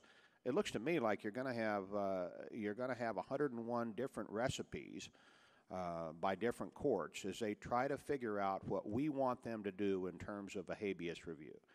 So, uh, what are your thoughts on this? How do you, uh, do you, do you think there's a, there's a danger of having, going off in 50 different directions if we don't have a prescription or a recipe or a set of directions as to, as to how the court proceeds on this, or how the courts proceed on this? Let me uh, begin by saying I don't think that there's some immediate crisis. We're only a month or so after the Supreme Court's Boumediene decision. I think we should let that process play out, as Mr. Oleskey says, with experienced federal judges, and that will then inform what this body does. I'm very worried about the number of misperceptions uh, that have happened in this debate thus far in the past month. I mean, uh, Representative Hunter, you know more about this issue than almost anyone, and yet you opened the hearing today by saying, and I, I think I'm getting this quote exactly right, the right to habeas corpus is something no American soldier enjoys. But of course, since 1890 in the In re Grimley decision, the Supreme Court has extended habeas corpus rights to American soldiers. No, no, not, not as a POW. As uh, American soldiers have habeas corpus rights, they can't be POWs because they are, after all, our own soldiers. No, I, but I'm talking about an American soldier who is a POW held in another country. And presumably, I would think that would apply to POWs who are in other, other uh, militaries. We don't have, we don't have, we had our German camps and our, uh, uh, of, uh, of soldiers in this country, did we allow them to have habeas? If you're talking about um, other soldiers, I'm, I'm- sorry, I I'm talking your statement yes. about, uh, I thought you had said a couple of times that American soldiers did not Well, have co- habeas corpus rights. And American That, soldiers that's exactly what I meant. Okay, Amer- An American American soldier held as a POW doesn't have that right. Extend, obviously, it would be extended by another country, nor do we, to my knowledge, extend that right to, tho- to other soldiers when they are a POW of our country. In other words, a POW, whether you, whether you say he's a German POW, an Italian POW, an American POW, does not have that right, and yet people who are essentially soldiers in this war against terror now have, according to this 5 4 decision, have a habeas right. So we have extended a right which hasn't extended to combatants in a, in a war. Sir, uh, Okay. in, in the uh, ex parte Quirin decision in World War II, the Supreme Court extended the writ of habeas corpus both to Americans and to enemies, Nazi saboteurs. So it's been around for a while. Those Uh, were not soldiers. They, they were enemy, unlawful They enemy were not soldiers, were they? They were And so the point that I made was absolutely accurate. And, I, and that's part of, and I'm not, I'm not trying to beat you down, but that's the, po- the problem we have here. You have a soldier, let's say he's in Saddam Hussein's army, and he shoots at Americans with his AK 47. He has a certain bundle of rights, but a very limited bundle of rights when he's captured. That same person now decides he's going to be a terrorist and he sheds the uniform and he does something against American troops and he ends up in Guantanamo. He now has a very different bundle of rights, indeed one that we're defining right now with this 15 this list of, of rights that people have under the DCA Act. So my point is in ways it's it's interesting that in ways we've expanded the rights for people who have uh, who who are killing Americans in battlefields and who were engaging in, in what heretofore, in some cases, was, a, was a, a war that was undertaken by people in uniform. And that's why I think, and that's why I brought up the point, and the, and the Colonel buttressed this point, when we had members of Congress who said, let's give a UCMJ right. That's why we brought up the fact that, in fact, that did indeed encompass certain things like Miranda that would now have to be attached to that person's bundle of rights. So my question is, you're a, you're a federal judge. You got you've extended a habeas right to a person who says, hey, "I was caught up in this sweep in this remote village." Aren't you going to have a real difficulty because much of whether or not that person was here is now being lawfully held turns on the facts. And the facts are whether or not he was, in fact, protecting the sheep with his AK 47, uh, protecting the herd, and he was caught up in a sweep. He was a farmer in a field, and he was not purposefully uh, attacking American forces as the rest of the people were. That's going to depend on the facts and the ability of that court to retrieve those facts from a battlefield situation which dissipated years ago. I think is going to be very difficult as a practical matter. Don't you agree with that? That that's going to be tough to do? Courts can always appoint special masters. They have that existing power to go, and, and so they could have a military apparatus do the first cut of that. My fundamental point is Okay, but now let me, I want to, I want you to answer this question, though. You can appoint all the masters you want, but how do you, in a real sense, ascertain what the facts were three years ago in a remote village in Afghanistan as to whether or not this guy really had a rifle or not? And that's what Or had a rifle that he was using against Americans? That's my question. And that's what we warned about three years ago and five years ago. Let's have a system in place, that's the Geneva Conventions, to do that initial But, sorting. Uh, we didn't do that, and so now we find ourselves in a, in a, in a mess. But you haven't answered the practical question. We're at where we are, and you're now going to have habeas proceedings. How will a federal court today, someplace in the United States, be able to reach back and retrieve facts so that they can give this, this uh, defendant a fair hearing on whether or not he was picked up in a sweep and in fact was not part of, an, of a body of illegal combatants? We have experienced federal judges with investigative tools and the power to use special masters. Let's let that system play out and see what happens instead of just cutting them off at the get-go and saying, you're incapable of doing this. Well, I think, I'm not thinking, saying we have to tell them they're incapable, but once again, you've used the statement special masters and they have certain powers. In a practical sense, it's going to be difficult, I think, to do that and give the guy a fair shot at, if he wants to have essentially a little trial on the facts as to whether or not he was illegally picked up. You're going to have to be able to reach back and get people who have long since uh, dissipated from the battlefield scene. And, and let me ask the other gentlemen what they think about that. Do you think that's going to be practical to be able to have without, without guidelines to have all these federal courts trying to come up with what they think is a fair habeas proceeding? Or do you think we should let it go and see if they can do it? Well, sir, I think the, I think the court Boumediene, I think, reluctantly got into the fray. I mean, I think, as they said, had there been a viable, meaningful process in place to determine, you know, who's the sheep herder from who's the terrorist, you know, who really is the enemy? Had there been a meaningful process in place, I don't think the court would have intervened.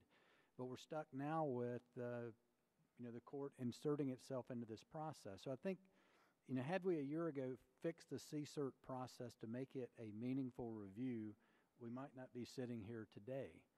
Well, I know, but we are here today, Colonel. Right. So what do we do? Well, I think, I think, again, I think we've got to look at, number one, you know, the immediate issue is Gitmo, and what do we do with the 265 guys sitting at Gitmo? But the solution has to be bigger than that, is how, what do we do with the next group that comes along behind that? So, you know, Gitmo's the immediate problem, but this is really requires a long-term solution, and there needs to be a robust, meaningful process to sort out the enemy from the But see, in the end, what you're going to have is basically battlefield reports, which are very sketchy. They're not detailed. Uh, Mr. Klingler, do you have any uh, comments? You think this is going to be doable by the federal courts? I think the courts have already asked for some help in this. The questions that they've already posed indicate that there are tremendously difficult issues in front of them. The pleadings that have been filed already indicate tremendous divergence in whether we're going to have something approaching a full blown trial or something that's very streamlined and efficient. I do think that there's a path through this. I think it needs legislative help. I think it is the congressional imprimatur on standards of deferring to the government and the military's determinations once they put forth a substantial degree of evidence and a streamlining of the process to avoid the questions that you're and the difficulties that you're pointing to. I- would, I would say, Representative, that the problem has been so far that all the issues that we've confronted have been abstract legal principles. Does habeas extend? Where does it extend? Now we're getting down to where the rubber meets the road, which is what trial judges do. They sort out the facts. I acknowledge the premise of your question. There will be some cases where the facts are difficult. The Supreme Court already said in 2004 that perhaps you'd have to have something called a declaration in that case, which would summarize the evidence, subject to limited cross-examination of the person making the declaration. But that is what courts do. And the notion that we can give you enough wisdom here to figure out a template for 275 cases to resolve the disgrace that Guantanamo has become, correctly or not, I think is far-fetched. Let that process go on. Let the facts get sorted out. Judges can handle these issues, as Professor Katyal said. If out of that mix, the whole system still cries out for a legislative fix, then I think you should take another look at it, yes.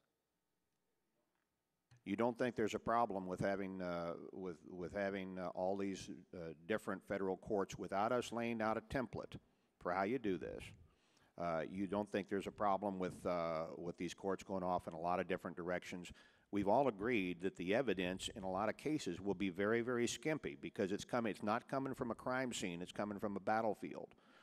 And so if you have a court that says, what if you have a court that says, you know, I can't give this guy a fair trial because I can't find anybody in that village. We can't retrieve any of them. We can't ascertain who was in that Marine unit or where they are. So we think we got to let him go. Is that, is that a possibility? Well, as you, as you pointed out, uh, and as we all acknowledge, more people have been released from Guantanamo by executive uh, decision without any input from any habeas lawyers or courts than the men who are still there. But to your central premise, I think I disagree. There's only one federal court hearing these cases by design. That's the United States District Court in Washington, D.C., right down the street.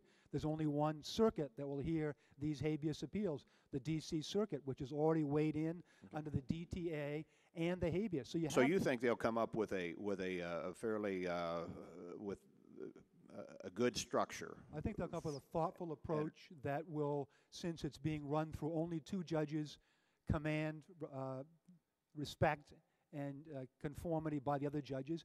And if they are wrong, there'll be an appeal. And at that point, when it appears there's still a dispute about some basic legal principle, as opposed to the facts about whether a man was a sheep herd or a rifleman, then you may decide to get involved, yes. But I think now is not that time. Okay. Thank you very much, uh, Mr. Chairman. Gentlemen, uh, thank you for your time today.